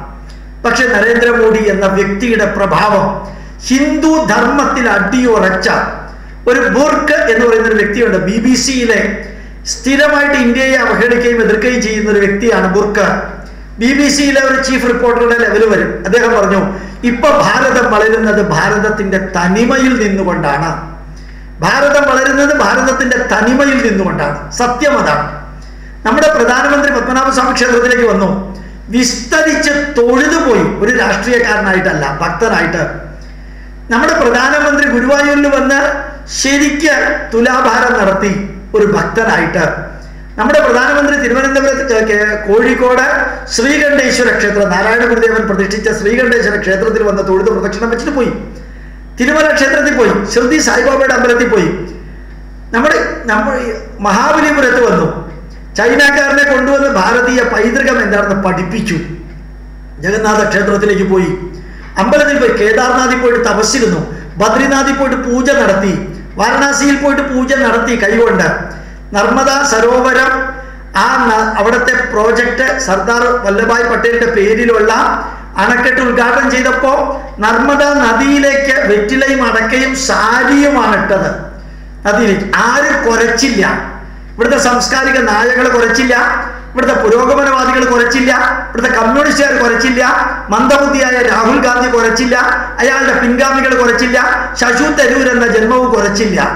എന്തേ കുറയ്ക്കാത്തത് ഉറച്ച തീരുമാനത്തോടുകൂടി ഹിന്ദു ഹിന്ദു ആണെന്ന് പച്ചയ്ക്ക് പറയുകയും പ്രവർത്തിക്കുകയും ചെയ്യാൻ തുടങ്ങി. കേദാർനാഥിൽ പോയിട്ട് തപസ് ചെയ്തത് അത് ലോക റെക്കോർഡായി മാറിയിരിക്കുന്നു. ബദ്രിനാഥിൽ ചെന്നിട്ട് പൂജ നടത്തി. ബദ്രിനാഥിന്റെ അന്തരീക്ഷം തന്നെ മാറി. കേദാർനാഥിനെ വലിയൊരു ടൂറിസ്റ്റ് കേന്ദ്രമാക്കാൻ പൂർണമായിട്ട് ഉള്ള പ്ലാൻ തീർത്തു. മാത്രമല്ല ചതുർധാം യാത്രയിൽ നാല് ഫോർ വേ ട്രാഫിക് ഉള്ള റോഡുകൾ ഉണ്ടാക്കി. അമർനാഥിലേക്ക് എല്ലാ സൗകര്യങ്ങളും ചെയ്തു കൊടുത്തു. അതുപോലെ കൈലാസത്തിലേക്ക് പോകാൻ ഷോർട്ടസ്റ്റ് റൂട്ട് ഉണ്ടാക്കി. താൻ ഒരു ഹിന്ദു ആണെന്ന് ഉറപ്പിച്ച് ഭാരതത്തിന്റെ പിതൃസ്ഥാനം രാഷ്ട്രപതി സ്ഥാനമല്ല പിതൃസ്ഥാനത്തിരുന്നു കൊണ്ട് ശ്രീരാമക്ഷേത്രത്തിന് തറക്കല്ലിട്ടു. കുറച്ചുപേര് കേരളത്തിൽ കുറച്ചു സ്ഥിരമായിട്ട് കുരയ്ക്കുന്ന കുറെ എണ്ണങ്ങൾ. പട്ടികളെ പോലെ കുരച്ചു അല്ലെങ്കിൽ കഴുതപ്പുലികളെ പോലെ ശബ്ദം ഉണ്ടാക്കി പക്ഷെ ചങ്കൂറ്റത്തോടുകൂടി ശ്രീരാമക്ഷേത്രത്തിൽ നമസ്കരിച്ച് പാളക്ക താറുടുത്ത താറുടുത്ത വൈദിക വിധി പ്രകാരം ശിലാസ്ഥാപനം നടത്തി ശ്രീരാമക്ഷേത്രത്തിന്. അത് ചങ്കൂറ്റത്തോടുകൂടി കാണിച്ചു. അതാണ് ഹിന്ദുവിന് അഭിമാനം ഉണ്ടാക്കാൻ ലോകമെമ്പാടുമുള്ള ഹിന്ദുവിന് അഭിമാനം ഉണ്ടാക്കാൻ സാധിച്ചത്. അത് നമുക്ക് മനസ്സിലാക്കാം. ശ്രീരാമക്ഷേത്രം ഒരു ബി ജെ പിക്കാരനായിട്ടുള്ള പ്രധാനമന്ത്രി നടക്കലിട്ടെന്ന് മനസ്സിലാക്കാം. പക്ഷെ ആറ് വേദ പണ്ഡിതന്മാർ ശൃംഗേരി ശങ്കരാചാര്യർ പറഞ്ഞയച്ച ആറ് വേദ പണ്ഡിതന്മാർ ഷർട്ടിടാതെ ഷർട്ടിടാതെ രണ്ടാം കൊണ്ട് പട്ടും വിതച്ചുകൊണ്ട് നമ്മുടെ പാർലമെന്റ് മന്ദിരത്തിന് മൂന്ന് ഏക്കർ വലിപ്പത്തിൽ വരുന്ന പാർലമെന്റ് മന്ദിരത്തിന് തറക്കല്ലിട്ടത് വേദമന്ത്രങ്ങൾ കരി പച്ചയ്ക്ക് ചൊല്ലിയിട്ടാണ്. നീട്ടി വലിച്ചു ഫുൾ ഫുൾ ചൊല്ലിയിട്ടാണ്. മുറുമുറുത്തും ചൊല്ലിച്ചതൊന്നല്ല ഒരൊറ്റയാൾ അനങ്ങിയില്ല. ഒരാളെ എതിർത്തില്ല. നമ്മുടെ കേരളത്തിലെ കോടിയേരി ബാലകൃഷ്ണൻ ഉൾപ്പെടെയുള്ള ദുരന്ത ജന്മങ്ങളിലുള്ള കമ്മ്യൂണിസ്റ്റുകാരോ ഇവിടുത്തെ ക്രിസ്ത്യാനികളോ മുസ്ലിങ്ങളോ ഒരു അക്ഷരം വേണ്ടിയില്ല മതേതരത്വം ഇടിഞ്ഞു പൊളിഞ്ഞു വീണു എന്ന് പറഞ്ഞ് മന്ദ- മന്ദബുദ്ധിയും ഒച്ചയെടുത്തില്ല. എന്തേ കാരണം? ചങ്കൂറ്റത്തോടുകൂടി ഹിന്ദു ഹിന്ദുവാണെന്ന് പറയാനും പ്രവർത്തിക്കാനും തുടങ്ങിയപ്പോൾ ഉണ്ടായ മാറ്റം.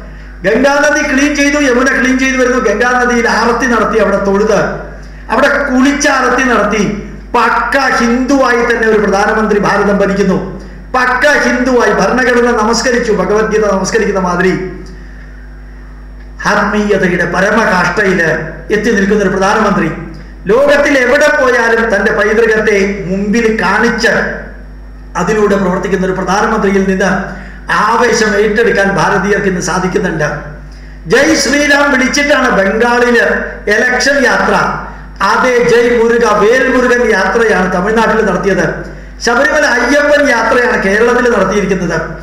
അതുപോലെ തന്നെ നമ്മുടെ Rajasekhar Reddy Y S R Reddy Yesu Samuel Rajasekhar Reddy Y S R Reddy. Yesu Samuel Rajasekhar റെഡ്ഡിയുടെ മകനാണ് ജഗൻമോഹൻ റെഡ്ഡി. പെന്തക്കോസ്റ്റുകാരനാണ് അയാളുടെ അച്ഛൻ നാനൂറ്റി എൺപത് ക്ഷേത്രം നശിപ്പിച്ചിട്ടുണ്ട്. ഇപ്പൊ നൂറ്റി ഇരുപത് ക്ഷേത്രങ്ങൾ ഇയാളുടെ കീഴിലുള്ള അച്ഛന്മാർ നശിപ്പിക്കുന്നു. അവിടെയും ജയ് കാളി ജയ് മഹാദേവ് വിളിച്ച് ആന്ധ്രയിലും ഹൈന്ദവ സ്പിരിറ്റ് കത്തി കാളി വരുന്നു ഉയരുന്നു. ഇത് വരും ഉയരും. ഹൈന്ദവ ജനതയുടെ ചങ്കൂറ്റത്തോടു കൂടിയ പ്രവർത്തനം. അതാണ് ധീരതയുടെ പ്രതീകം. ഹിന്ദു ഭീരുവല്ല ഹിന്ദു ധീരനാണ്. അത് ഇന്ത്യ ചൈന ബോർഡറിലാണെങ്കിലും ഇന്ത്യ പാകിസ്ഥാൻ ബോർഡറിലാണെങ്കിലും അതല്ല ഇറാനോടുള്ള കാര്യത്തിലാണെങ്കിലും ബംഗ്ലാദേശിനോടുള്ള കാര്യത്തിലാണെങ്കിലും മ്യാൻമാറിനോടുള്ള കാര്യത്തിലാണെങ്കിലും നോർത്ത് ഈസ്റ്റിലെ സകല തീവ്രവാദികളെ കുത്തുവാള എടുപ്പിച്ചത് നമ്മുടെ ഇന്ദ്രജാലക്കാരൻ മജീഷ്യനായിട്ടുള്ള മുതുകാട് ഇന്നലെ പറഞ്ഞിട്ടുണ്ട്. നല്ല രസം തോന്നി. പഴയ ഗവൺമെന്റ് അല്ല ഇന്ത്യ ഇപ്പൊ പഴയ ഇന്ത്യ അല്ല ഇപ്പോ അടിച്ചൊതുക്കും തകർക്കും. ഹിന്ദുക്കളെ തിരിച്ച് കാശ്മീരിൽ കൊണ്ടുപോയിട്ട് വീട് വെപ്പിച്ച് താമസിപ്പിക്കാൻ ചങ്കൂറ്റമുള്ള വ്യക്തികളാണ് ഇപ്പൊ അകത്ത് മുകളിലും ഉള്ളത് അത് രാജസ്ഥാനിലാണെങ്കിലും ആസാമിലാണെങ്കിലും ബംഗാളിലാണെങ്കിലും ബംഗ്ലാദേശിലാണെങ്കിലും ഹിന്ദുവിന്റെ കാര്യം ഹൈന്ദവ ജനതയ്ക്കും കൂടെ ഉള്ളവർക്ക് പൗരത്വം കൊടുക്കാനുള്ള പൗരത്വ ഭേദഗതി നിയമം. ഇവിടെ ഭാര്യകുന്നത് അഹമ്മദ് ഹാജിയുടെ കള്ളിയും കൊണ്ടുകൊടുത്തോണ്ട് കത്തിയും വെച്ചുകൊണ്ട് മലപ്പുറത്ത് യാത്ര നടത്തി ഒരു ചുക്കു ചുണ്ണാമ്പ് നടത്തില്ല. മുസ്തഫ കെമാൽ ഭാഷ ഉൾപ്പെടെ മുസ്ലിങ്ങളുടെ ഭാഷയിൽ സംസാരിച്ചു. എല്ലാവർക്കും ഉത്തരം കൊടുക്കാൻ ഹിന്ദുവിന് സാധിച്ചു. അതാണ് ഹിന്ദു ധർമ്മം അതാണ് ഹൈന്ദവ ചൈതന്യം. നമ്മുടെ രാഷ്ട്രം മാറുന്നു. അടിമുടി മാറുന്നുണ്ട്. ഭാരതം ലോകത്തിന്റെ മുമ്പിൽ മാറി. ഭാരതത്തിന്റെ ഭാരതത്തിന്റെ പ്രതിരോധ കേന്ദ്രങ്ങൾ മാലിയിലുണ്ട് മൊറീഷ്യസിലുണ്ട് ബംഗ്ലാദേശിലുണ്ട് മ്യാൻമാറിലുണ്ട് ശ്രീലങ്കയിലുണ്ട് ഇറാനിലുണ്ട് ഒമാനിലുണ്ട്. ഇന്ന് ഏതാണ്ട് അറുപതോളം രാജ്യങ്ങളിലേക്ക് ഭാരതീയർക്ക് പോകണമെങ്കിൽ സ്പോട്ട് വിസ മതി. നേരത്തെ വിസ എടുത്ത് പോകണ്ട അത് മാത്രമല്ല സകലതിനും ഭാരതത്തിനെ സപ്പോർട്ട് ചെയ്യുന്ന ഒരു ജോയ് ബീഡൻ എന്ന പുതിയ അമേരിക്കൻ പ്രസിഡന്റും വന്നു. ട്രംപിനേക്കാൾ ശ്രേഷ്ഠനായി ഭാരതത്തോട് ചേർന്ന് നിൽക്കുന്ന ഒരു ബൈഡൻ എത്ര ഗംഭീരമായിട്ട് ഇന്ത്യക്കാരാണ് ന്യൂസിലാൻഡിലെ മന്ത്രിമാരായിട്ടുണ്ട്. ഇന്ത്യക്കാര് ലണ്ടനിലെ ഇംഗ്ലണ്ടിലെ മന്ത്രിമാരായിട്ട് ഇംഗ്ലണ്ടിലെ പ്രധാനമന്ത്രിയുടെ ചീഫ് ആർക്കിടെക്റ്റ് ആയിട്ട് ഈ ബൈഡന് അമേരിക്കൻ പ്രസിഡന്റിന് ശരിക്കും എല്ലാ ഡീറ്റെയിലും കഴിഞ്ഞ് പത്ത് വർഷമായിട്ട് എഴുതി കൊടുക്കുന്ന ആന്ധ്രാക്കാരനായ ഇന്ത്യ ഇന്ത്യക്കാരനായ ആന്ധ്രാക്കാരനാണ്. അദ്ദേഹമാണ് അവിടെ ആയിരത്തി തൊള്ളായിരത്തി എഴുപത് മുതൽക്ക് ഒരു ഡോക്ടറായിട്ട് പ്രവർത്തിക്കുന്നവന്റെ മകൻ. ഈ ബൈഡനും കമലയ്ക്കും വേണ്ട എല്ലാ കാര്യങ്ങളും എഴുതി കൊടുക്കുന്നത് ഇന്ത്യക്കാരുടെ സ്വാധീനം. പണ്ട ജൂതന്മാരുടെ സ്വാധീനം ലോകമെമ്പാടും എങ്ങനെ ഉണ്ടായിരുന്നോ അതിനേക്കാൾ കൂടുതൽ ഹിന്ദുക്കളുടെ സ്വാധീനം ഇന്ന് ലോകമെമ്പാടുമുണ്ട്. ഹിന്ദുക്കളുടെ സ്വാധീനം ലോകമെമ്പാടുമുണ്ട്. ഹരേ കൃഷ്ണ പ്രസ്ഥാനവും അതുപോലെയുള്ളതെല്ലാം വളർന്ന് പടർന്ന് പന്തലിച്ചുകൊണ്ട് ലോകം കീഴടക്കിക്കൊണ്ടിരിക്കുന്നു. നമ്മുടെ വേദങ്ങളും പുരാണങ്ങളും ഇതിഹാസങ്ങളും ലോകം കീഴടക്കിക്കൊണ്ടിരിക്കുന്നു. ഹിന്ദു എന്ന പേരിൽ അഭിമാനിക്കാൻ ഇന്ന് ലോകത്തിന് സാധിക്കും. മിഡിൽ ഈസ്റ്റ് രാജ്യത്തിൽ പോയാൽ ഇന്ന് ഇന്ത്യക്കാർക്ക് സുസ്വാഗതമാണ്. ഭാരതത്തിന്റെ സ്വാതന്ത്ര്യ ദിനം പോലും ശരിക്ക് ദുബായ് എയർപോർട്ടിൽ ആഘോഷിച്ചു. ഇന്ത്യക്കാർക്ക് ചോക്ലേറ്റ് കൊടുത്തു. ഇന്ത്യക്കാരുടെ കയ്യിലുള്ള കുട്ടികൾക്ക് ബലൂൺ കൊടുത്തു ദുബായ് എയർപോർട്ടിൽ. ഭാരത സ്വാതന്ത്ര്യത്തിനും ഭാരതത്തിന്റെ റിപ്പബ്ലിക് ഡേക്കും.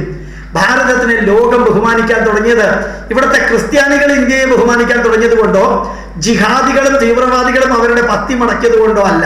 മറിച്ച് ഹിന്ദുവിനും ഹിന്ദു പേരുള്ളവരുടെ ആത്മാഭിമാന ചൈതന്യത്തോടു കൂടിയുള്ള ഭരണവും ഒരിക്കലും നടക്കാത്തത് ഭാരതത്തിന്റെ ശരിക്കും ഡിഫൻസിന്റെ ടോപ്പായിട്ടുള്ള നമ്മുടെ പ്രതിരോധ സൈന്യത്തിന്റെ മേധാവി ഏഴ് ദിവസം ദുബായിൽ പോയിട്ട് താമസിച്ച് ദുബായിയും ഭാരതവും ദുബായിയും ഒമാനും അതുപോലെ ദുബായിയും വിയറ്റ്നാമും ദുബായിയും മലേഷ്യയും ദുബായിയും സിംഗപ്പൂരും ഒക്കെ നമ്മളുടെ നമ്മുടെ മിലിറ്ററിയിലെ ഹെഡ് പോയിട്ട് സഹകരണ ഉടമ്പടി ഒപ്പിട്ടു. എന്തേ കാരണം? ഈ നാടിന്റെ പൈതൃകത്തിന്റെ ചങ്കൂറ്റത്തിൽ വിലസുന്ന ഭരണാധികാരികൾ മുകളിലുണ്ട്. ചങ്കൂറ്റത്തിൽ വിലസുന്ന ജനക മഹാരാജാവിനെ പോലെ ഇപ്പൊ താടിയും വെച്ച് പണ്ട് താടി അത്രേ ഉണ്ടായിരുന്നില്ല.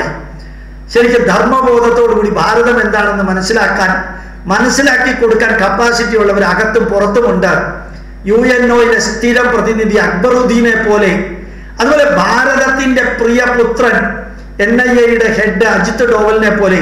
ഒരു ചങ്കൂറ്റമുള്ള ഡിഫൻസ് മിനിസ്റ്ററെ പോലെ ചങ്കൂറ്റമുള്ള ഒരു വനിതാ ഫിനാൻസ് മിനിസ്റ്ററെ പോലെ ചങ്കൂറ്റമുള്ള ആഭ്യന്തര മന്ത്രിയെ പോലെ ഇവിടെ ചങ്കൂറ്റമുള്ളവരുണ്ട്.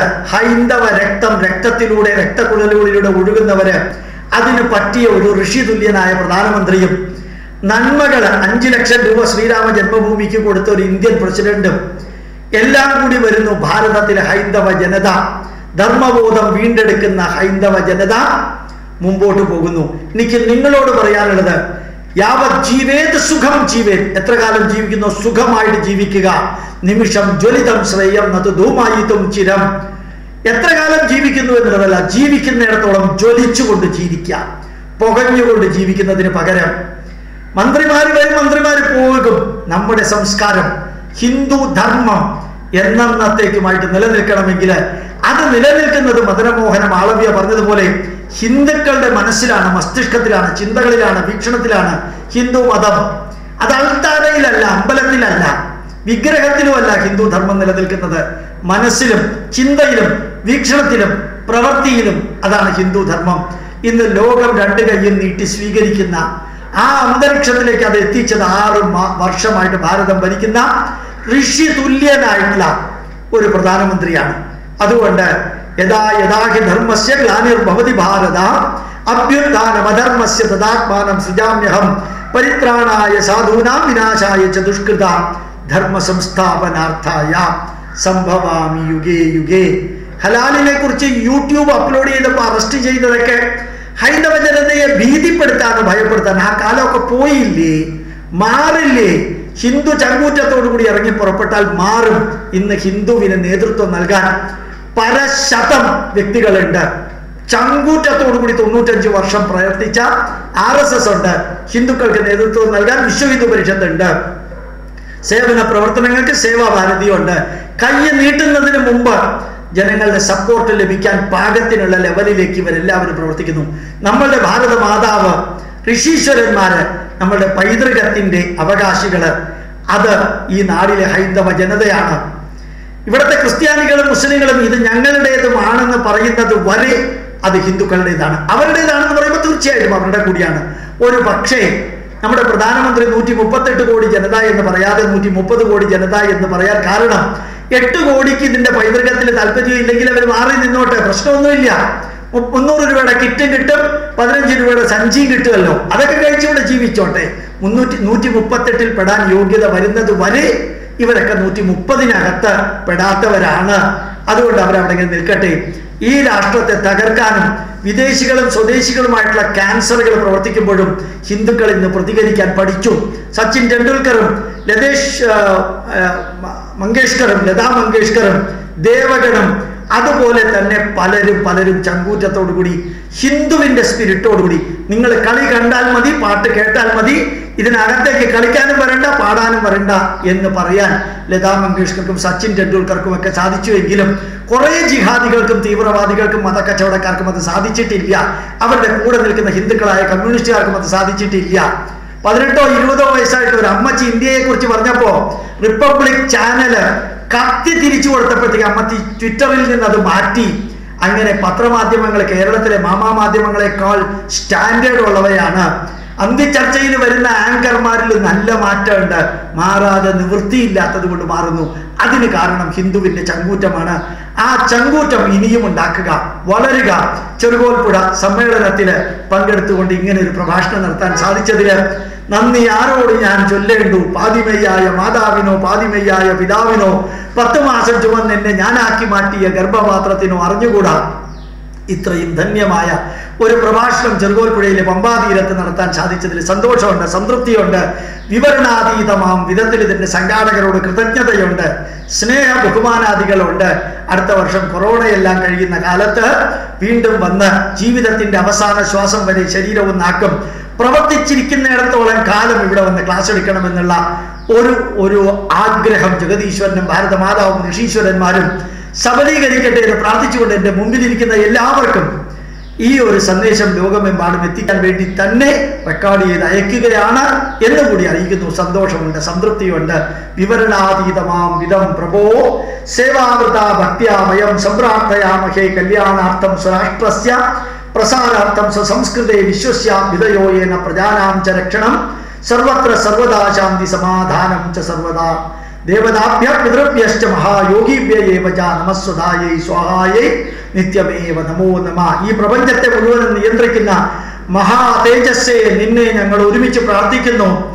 ഈ ഭൂമിയിൽ വന്ന് ജീവിതം ആസ്വദിക്കാൻ ഞങ്ങൾക്ക് അവസരം നൽകിയ മാതാപിതാക്കളെ പിതൃക്കളെ നിങ്ങളെ ഞങ്ങൾ പ്രണമിക്കുന്നു. ഈ സനാതന ധർമ്മ സംസ്കാരം ഭാരതത്തിനും ലോകത്തിനും നൽകിയിരിക്കുന്ന യോഗീശ്വരന്മാരെ ഋഷീശ്വരന്മാരെ നിങ്ങളുടെ പാദം തൊട്ട് ഞങ്ങൾ വന്നിക്കുന്നു ഞങ്ങളുടെ ഓരോരുത്തരുടെയും അകത്തും പുറത്തും നിറഞ്ഞു നിൽക്കുന്ന മഹാ ചൈതന്യമേ നിന്നെ പ്രണമിച്ചുകൊണ്ട് ഞങ്ങൾ ഒരുമിച്ച് പറയുന്നു ഒരുമിച്ച് പ്രാർത്ഥിക്കുന്നു.